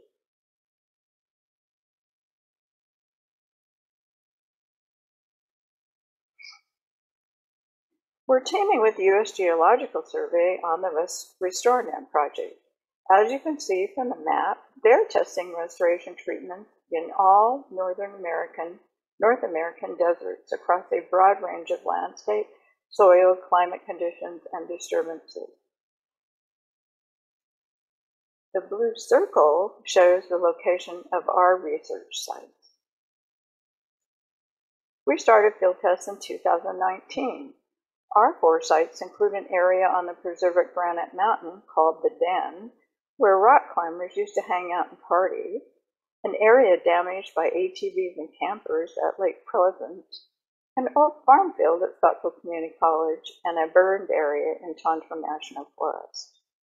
There are four distinct treatments being used at each site. Mulch, wire mesh connectivity monitors, aka pond mods, installed perpendicular to the soil, below ground pits, and warm and cool seed mixes to see which might do better as the environment changes. Since we just started our field test in 2019, it's too early to show publishable results. However, we can say that we're starting to see the cool seed mix plants, lupin, desert marigold, and chia, in the pits doing well. Looking at the visual comparison between spring of 2020 and 2021, I think Paul showed kind of a similar comparison um, at Tonto National Forest it's clear that we saw more growth in 2020 than in 2021, probably due to the effects of the current drought. And one of the treatments on the continuum that has been often overlooked is BioCrust. Our research partner, Anita Antoninka from Northern Arizona University, is on a mission to change that. Here she is introducing the project. Hi, I'm Anita Antoninka. I'm a research professor at the School of Forestry at Northern Arizona University. My particular research interest is using biocrust in restoration to restore degraded drylands. It's been my pleasure to have an opportunity to work with the McDowell Sonoran Conservancy to do this groundbreaking research with such an incredible citizen science team. So what is BioCrust? Well, BioCrust in the Southwest is the community of three organisms, lichens, cyanobacteria, and mosses. It's vital to arid environments because of its incredible benefits. The most important is uh, erosion control. It holds the soil together. Others include nutrition recycling, moisture retention, and an often overlooked one is that it breathes in carbon dioxide and breathes out oxygen. Because of human-driven activities such as urbanization and farming, it is disappearing rapidly. If Anita had her way, we'd roll biocrust out across the earth like a carpet. So the goal of this project is to determine the best methods to cultivate biocrust for use in restoration.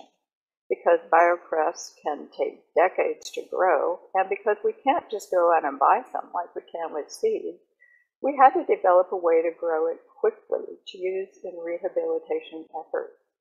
We salvaged the biocrust from the preserve before new trailheads were constructed. It was then sieved for homogeneity and grown in several controlled environments, including greenhouse hoop house and covered with shade cloth. Several innovative treatments were then applied to the resulting inoculum for the field research. For example, it was mixed with psyllium to help bind it to the soil, grown on jute, and made into pellets with diatomaceous earth. We installed 222 research plots in the preserve at Granite Mountain and are now in the second year of data collection. So let's take a look at some of the results.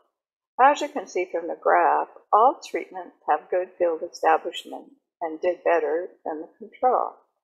Psyllium worked well to help the crust bind to the soil, the crust grown on the jute prevented non-native plants, such as red brome, from growing. And we found that we are able to store the crust for later use without degradation, which is good because we have 50 plus 5 gallon buckets of them and several projects that would like to use it. We're proud that this was the first successful reintroduction of mature biocrust in the Sonoran Desert. So we've reviewed the results of four of our restoration projects. What can we tell Dan and Mary to help them determine the best treatments to use to restore the damaged areas they identified? We've shown there are various things to consider when making restoration decisions and how complex it can be. Restricting access will work for recovery over time.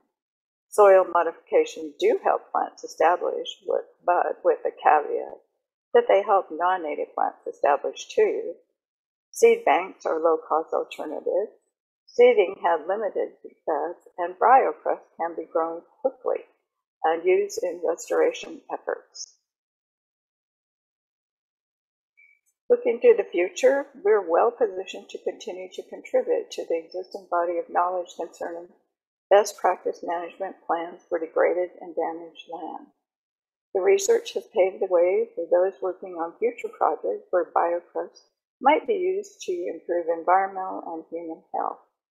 And we have loads of storage left, that preserved storage left that can be used. I want to acknowledge all our partners in citizen science who helped make this research possible and who helped with the uh, salvage of the biocrust. And I also want to especially acknowledge my co-lead, Jane Brady, who's been terrific to work with. So are there any questions? Thanks so much, Debbie. That was great. And we just got a uh, question that came in. It says, what is locally provided seed bank and where do I get it? Locally provided seed bank is, is uh, seeds that exist kind of in the soil. Um, and so, as I mentioned, we, a seed bank, the soil contains seeds. And so in that case, we dug it up from under some trees that we had. So you can't go out and purchase it. You, um, you have to dig it up and find it somewhere and dig it up. It's in the soil. I have a question. It's Patty. How long does it take for the biocrust to develop and or grow? So, well, um, 10 to decades. It takes it can take decades, but 10 to 50 years is a long time. So that's why you see, um, you know, when you go to southern Utah, you see don't bust the crust signs and stuff because it takes so long for it to recover.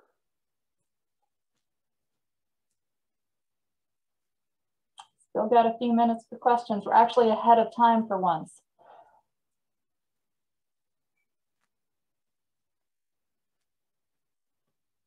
Okay, well, we are going to go ahead and move along then. Uh, we've got just one more presentation to go. Thank you again, Debbie, and thanks so much to all of the other presenters. Uh, if you want to stop sharing your screen. Well, I could if I could. My share just disappeared somewhere. Um, that. There we go. There I go. Okay. All right, so I am going to start sharing my screen and this is going to be the last presentation, but we will have plenty of time afterwards just to chat and answer any additional questions that folks might have. Um, and again, I have too many windows open. Okay, are folks able to see that? Yep, it looks good. Okay, great. Um, so we've given you kind of this whirlwind tour of some of our projects, where we've been, where we are now, but now we wanted to focus on where are we going? And so I'm going to talk to you about what we're looking towards over the next couple of years. So the goal of our work is not only to influence what happens within McDowell Sonoran Preserve, but also to influence management actions across a much, much broader scale. So what we're learning here in the preserve through, through these and our other projects are really helping us better understand the preserve's ecosystem and it's helping driving actions to protect the special place. But our work has implications far beyond the preserve boundaries. And so what we're doing can influence management actions throughout the region and throughout the state, throughout much of the Sonoran Desert. And from there, we're not stopping, we plan to take over the world. But in all actuality, some of the work that we are doing is applicable across arid lands across the entire world. So I'm going to walk you through our future plans for all of these projects, um, taking them priority by priority. So starting with this first one, which is to assess the impact of the urban stressors and climate change on the resources of the Sonoran Desert. So we are planning to continue all of our long-term monitoring projects into the foreseeable future. Many of these are still in their infancy. We just have a few years of data, maybe three to five years under the belts of many of them. And ideally, we need at least five years, preferably a lot longer than that, before we're able to really start to assess the trends and the factors that are influencing these resources. But we are starting to analyze these data, and our goal is to start summarizing findings for half of these projects each year. So you've already seen some of the results for half of those, and we'll be focusing on the other half in future years. Uh, we're really looking forward to digging further into these and starting to suss out some of those trends um, and determine the management actions. So we are planning to continue these over the long term, which as Helen said, is really crucial for being able to detect these changes and to be able to recommend possible management actions in order to protect these resources and the overall ecosystem. As part of this, we are also investigating ways to compare our data with other regional data sets to understand trends and management needs over these larger areas. So as far as we are aware, there are no species that are unique to the preserve, but the preserve does make up a really important part of their range. So by tying our data in with similar projects across the region and by collaborating with partners, we have, can have a much better understanding of the big picture and what's needed to protect these important resources throughout their entire range. So as examples of that, for birds, we are currently working with Audubon, uh, with Arizona Game and Fish Department and other partners to determine what data is available, who else out there is conducting these surveys, and what we can do to kind of account for all of the different survey techniques that are involved in birds uh, so that we can actually make good comparisons between these data. For butterflies, uh, as Ron mentioned, we are working on making some comparisons with other counts that are occurring throughout the region and are being reported to the North American Butterfly Association. For our plant and animal phenology work, we are working with the National Phenology Network to determine how our data are already being used in these broader studies, as well as additional comparisons and analyses that can be made. So as an example of this, recently our soap tree yucca data were included in a study at the Jornada experimental range in New Mexico, and they were looking to determine the start and end dates of the growing seasons of the yucca. And our yucca data was also used in a U.S. Fish and Wildlife Service project called Flowers for Bats, where they're seeking to understand the availability of agave resources for sensitive bat species as they're migrating. Um, and speaking of bats, Debbie gave you a little teaser about this, and I'll discuss it more in a couple of minutes, but we are starting a new project and are going to be tying our data into the North American Bat Monitoring Program. And so with that, I wanted to uh, say that we recently uh, received a heritage grant, which is allowing us to start a new project as well as dive further into the bats. And so we're very excited about these projects that we're going to do. The first one is with the Sonoran Desert Tortoise. Uh, this is a sensitive species. It is here in Arizona considered a tier 1A species of greatest conservation need, which means that has some extra protections here. And it's also being considered for listing under the Endangered Species Act at the federal level. Primary threats facing this species include habitat loss and fragmentation, which you've heard a lot about today, as well as disease and removal from the wild.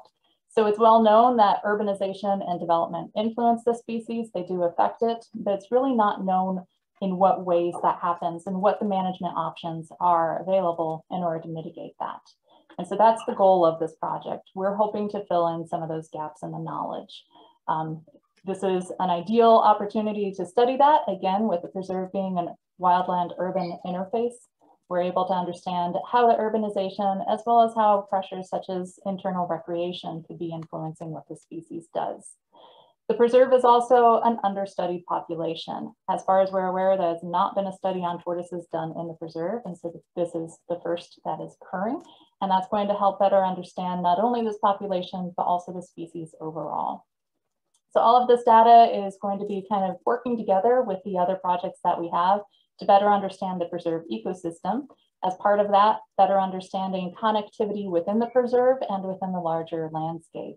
Uh, so looking at how roads, how trails, how other factors might be influencing what tortoises are doing within the preserve and what is needed in order to protect the species as well as the habitats on which they depend.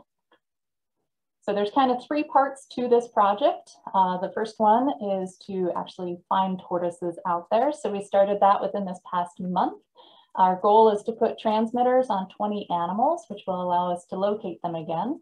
And they'll also receive GPS transmitters, which will take a location every hour. So if you think about that, 20 animals, getting a location every hour for two years, we are going to have an abundance of information on these animals, and it's going to be great. And then one of the big parts of this is outreach and education. We are wanting to help educate people about tortoises, about how important they are, why our work is so important to protect the species, and most importantly, the role that they play in protecting species such as this and in the habitats that they depend on, such as the preserve. So then the second part of our heritage grant uh, is focused on bats, and Debbie gave a really great overview on this. But thanks to the Heritage Grant, we have been able to strengthen our current work and expand. We've been able to purchase our own equipment to continue our emergence counts. Uh, and we also started this new aspect of acoustic monitoring in different areas of the preserve. So this is a great opportunity for regional and continental data comparisons. So we'll be sharing this information with the North American Bat Monitoring Program, which is going to inform understanding of bat occurrence across the entire continent, document trends over time, and also determine the management that's needed to protect these species throughout their broader ranges. So moving into our second priority. So again, this is trying to determine effective management practices to be used in arid lands. As you've heard, we are wrapping up a couple of these projects, including the closed trail restoration experiment and our fountain grass control experiment. And so now we are able to start using the knowledge gained from these as we move into the management side of our work. We're also continuing some of our projects. As you heard from Debbie, we've got a lot going on with our soil crust. Uh, we're continuing our storage experiment, trying to determine how storage might influence the viability of these crusts to be reintroduced into the field. And then of course, we're continuing our experiments to actually determine how to reintroduce them into the field and what methods work best. And then as you heard from Paul, we are continuing this buffelgrass control work because it just doesn't want to be tamed. Uh, so we'd like to get another year or two under our belts with this, just so we can help tease out whether it was the drought that really influenced what we saw out there, or if our treatments are having a bigger effect. And then we're also expanding some of these projects. So in the restoration world, we are moving into RestoreNet phase two. And so working with our partner at the US Geological Survey, we're determining next steps, which could include potentially sampling the microbial community and the disturbed and undisturbed, undisturbed sites, doing some mycorrhizal treatments or seed balls with inoculum to improve seeding uh, and some other things. A postdoc is also working on analyzing the cumulative data across all of the USGS RestoreNet sites, including the four that we oversee, which is really exciting. We're also looking at potential options for using the successful treatments that we have seen from our other projects and combining those to see what works best out there in the field. Uh, so things such as the surface modifications, using those seed bank soils, seeding with the species that actually germinated in our plots. And we actually just submitted a grant which would give us a leg up and allow us to accomplish that. And then we're also doing a lot more with the invasive annual plant control. And as you heard from Paul, he's actually been doing some mini experiments out there, uh, doing a lot of research, background research on potential control options and he's been doing these mini experiments and he's been seeing a lot of positive results, which is really great. So finally, moving into that last priority, and again, this is kind of the culmination of the first two, taking the knowledge that we gained from those first two priorities and then actually putting them into action.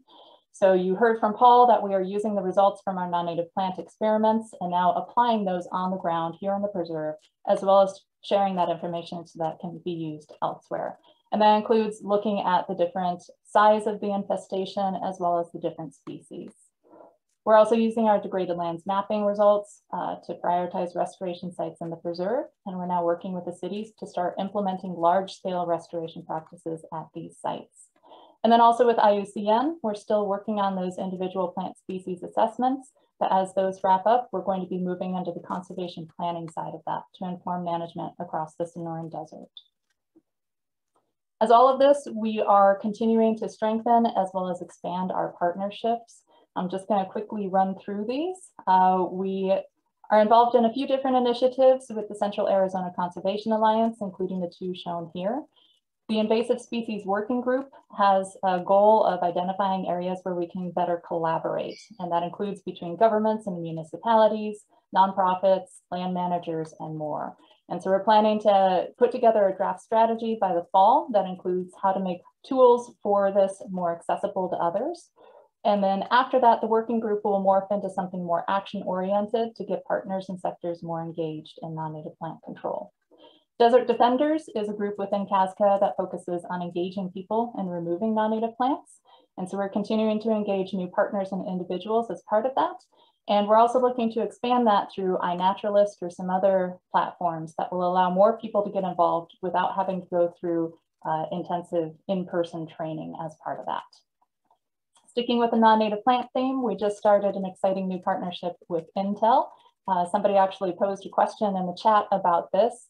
So Intel is investigating high, using high resolution imagery from drones in order to survey some of the more difficult to access areas of the preserve for non-native plants.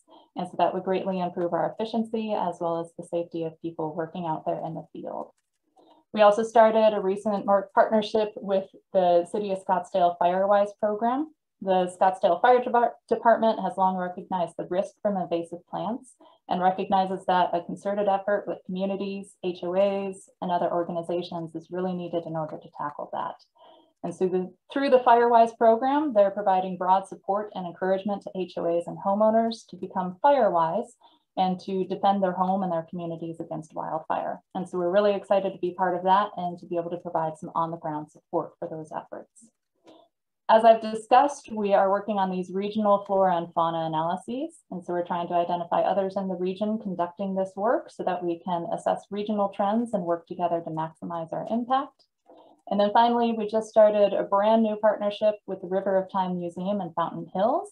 It's an information sharing partnership. We are helping them redesign some of their exhibits at the museum, and they're helping get the word out about who we are and opportunities to engage with us as well.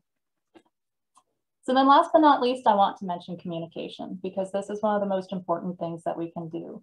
Uh, we don't want to gather all of this information and just sit on it. Instead, it's really important that we get it out there.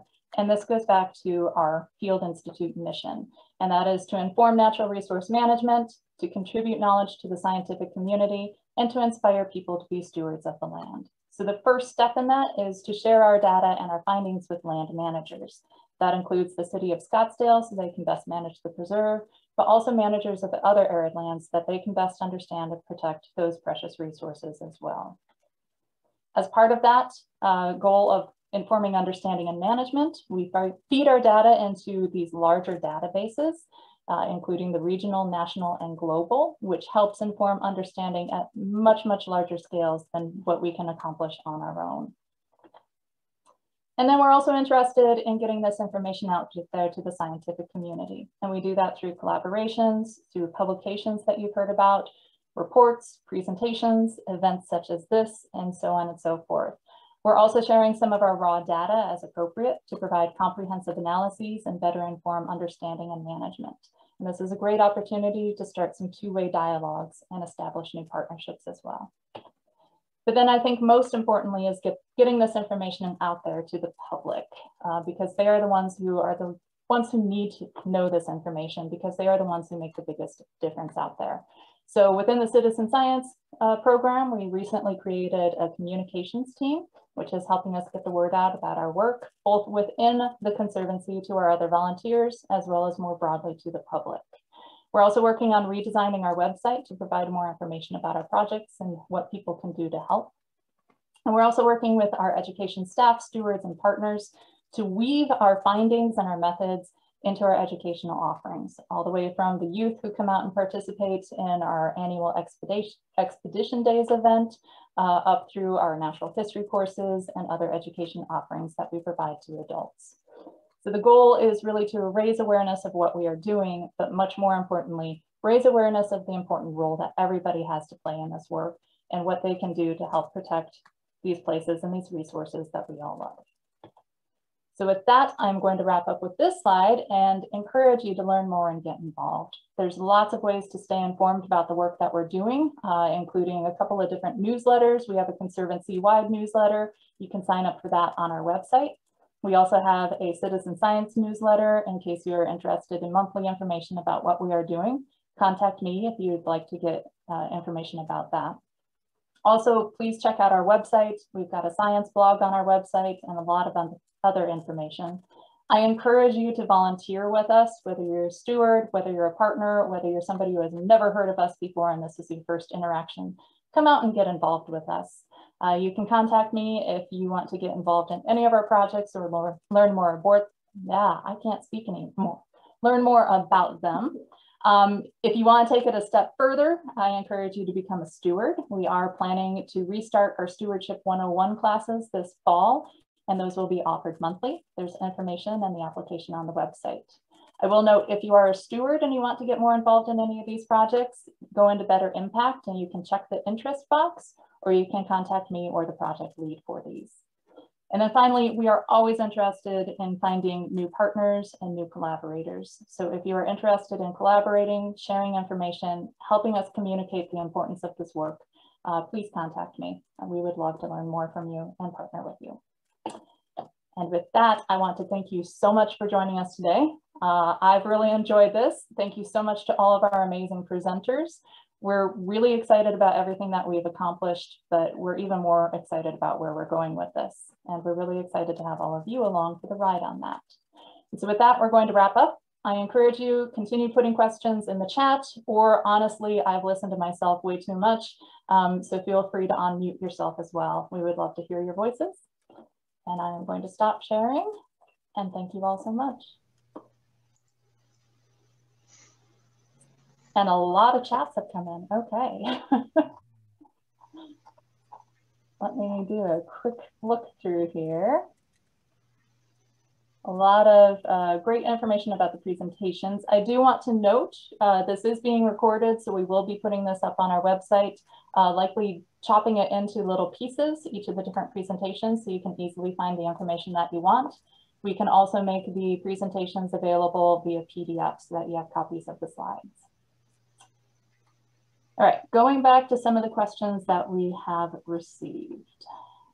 Um, so go, we got a couple of questions about degraded lands mapping. So I'm going to call on Mary and Dan and put them on the spot again. Um, so we got a question, would the degraded lands mapping be a good candidate for AI training uh, through a neural network? Um, maybe. the um, uh, nothing with AI is easy.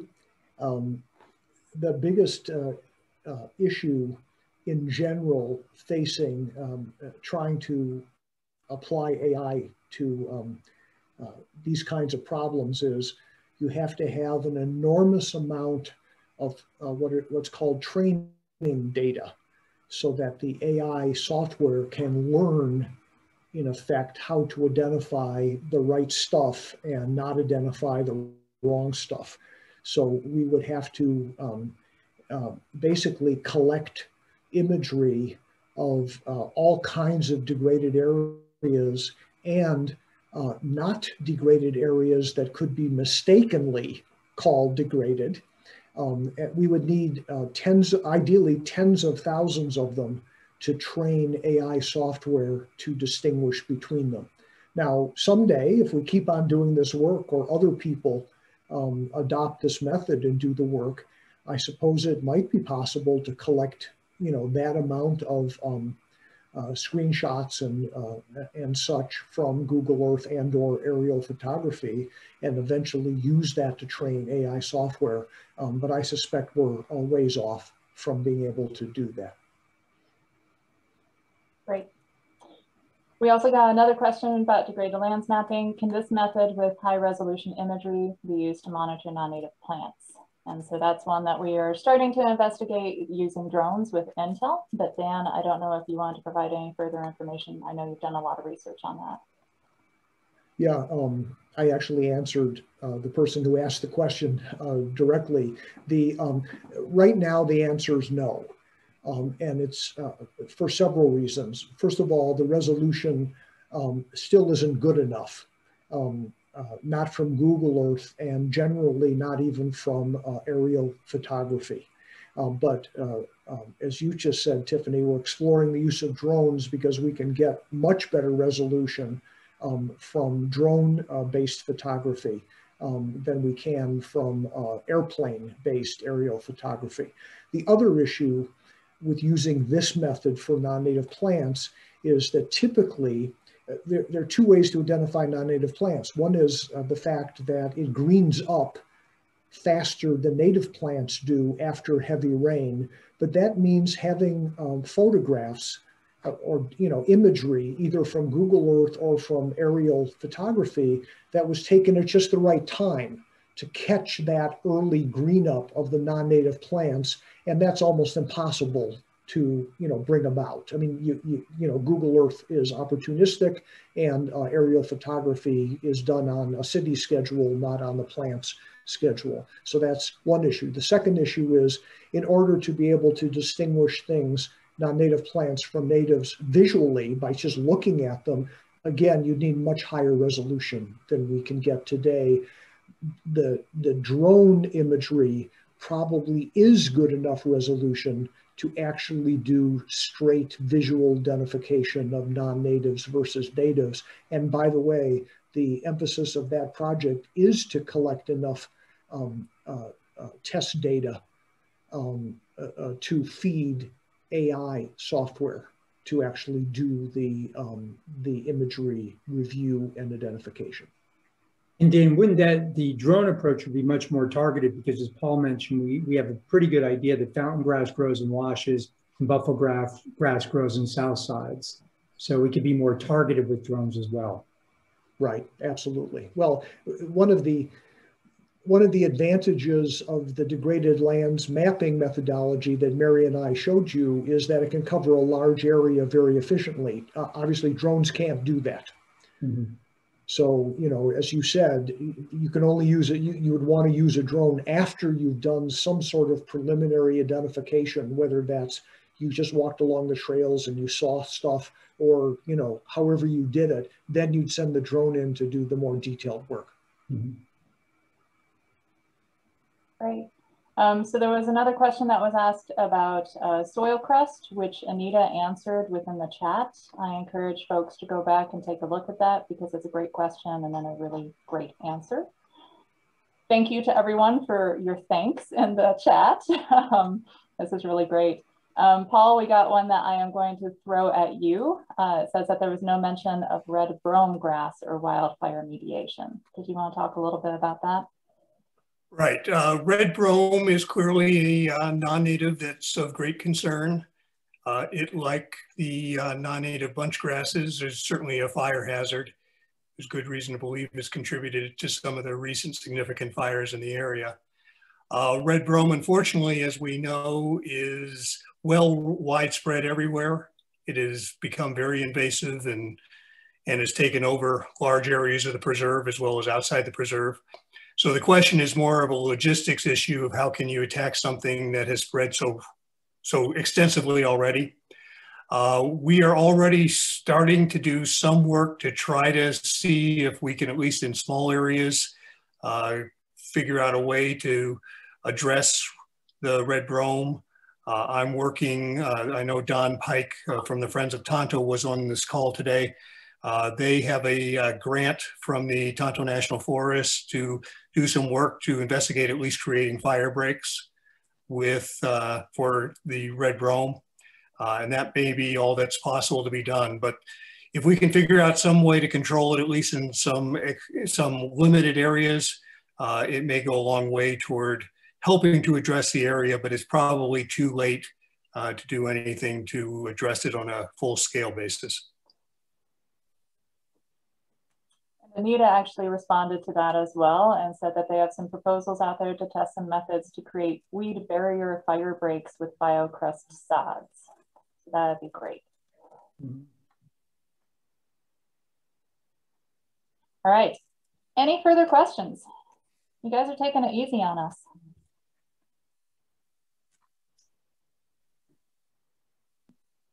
All right, well, I'm gonna stick around for a little bit just in case people do have any additional questions, or again, if you just want to unmute yourselves and chat. I miss all of you, so it'd be great to chat with you. But thank you all so much. It was wonderful to see you, and we hope to see you out there in the field with us. Thank you, everybody, for tuning in. It was a great crowd. Thank you. Thanks, everybody, for all your work on this, and thanks those for participating.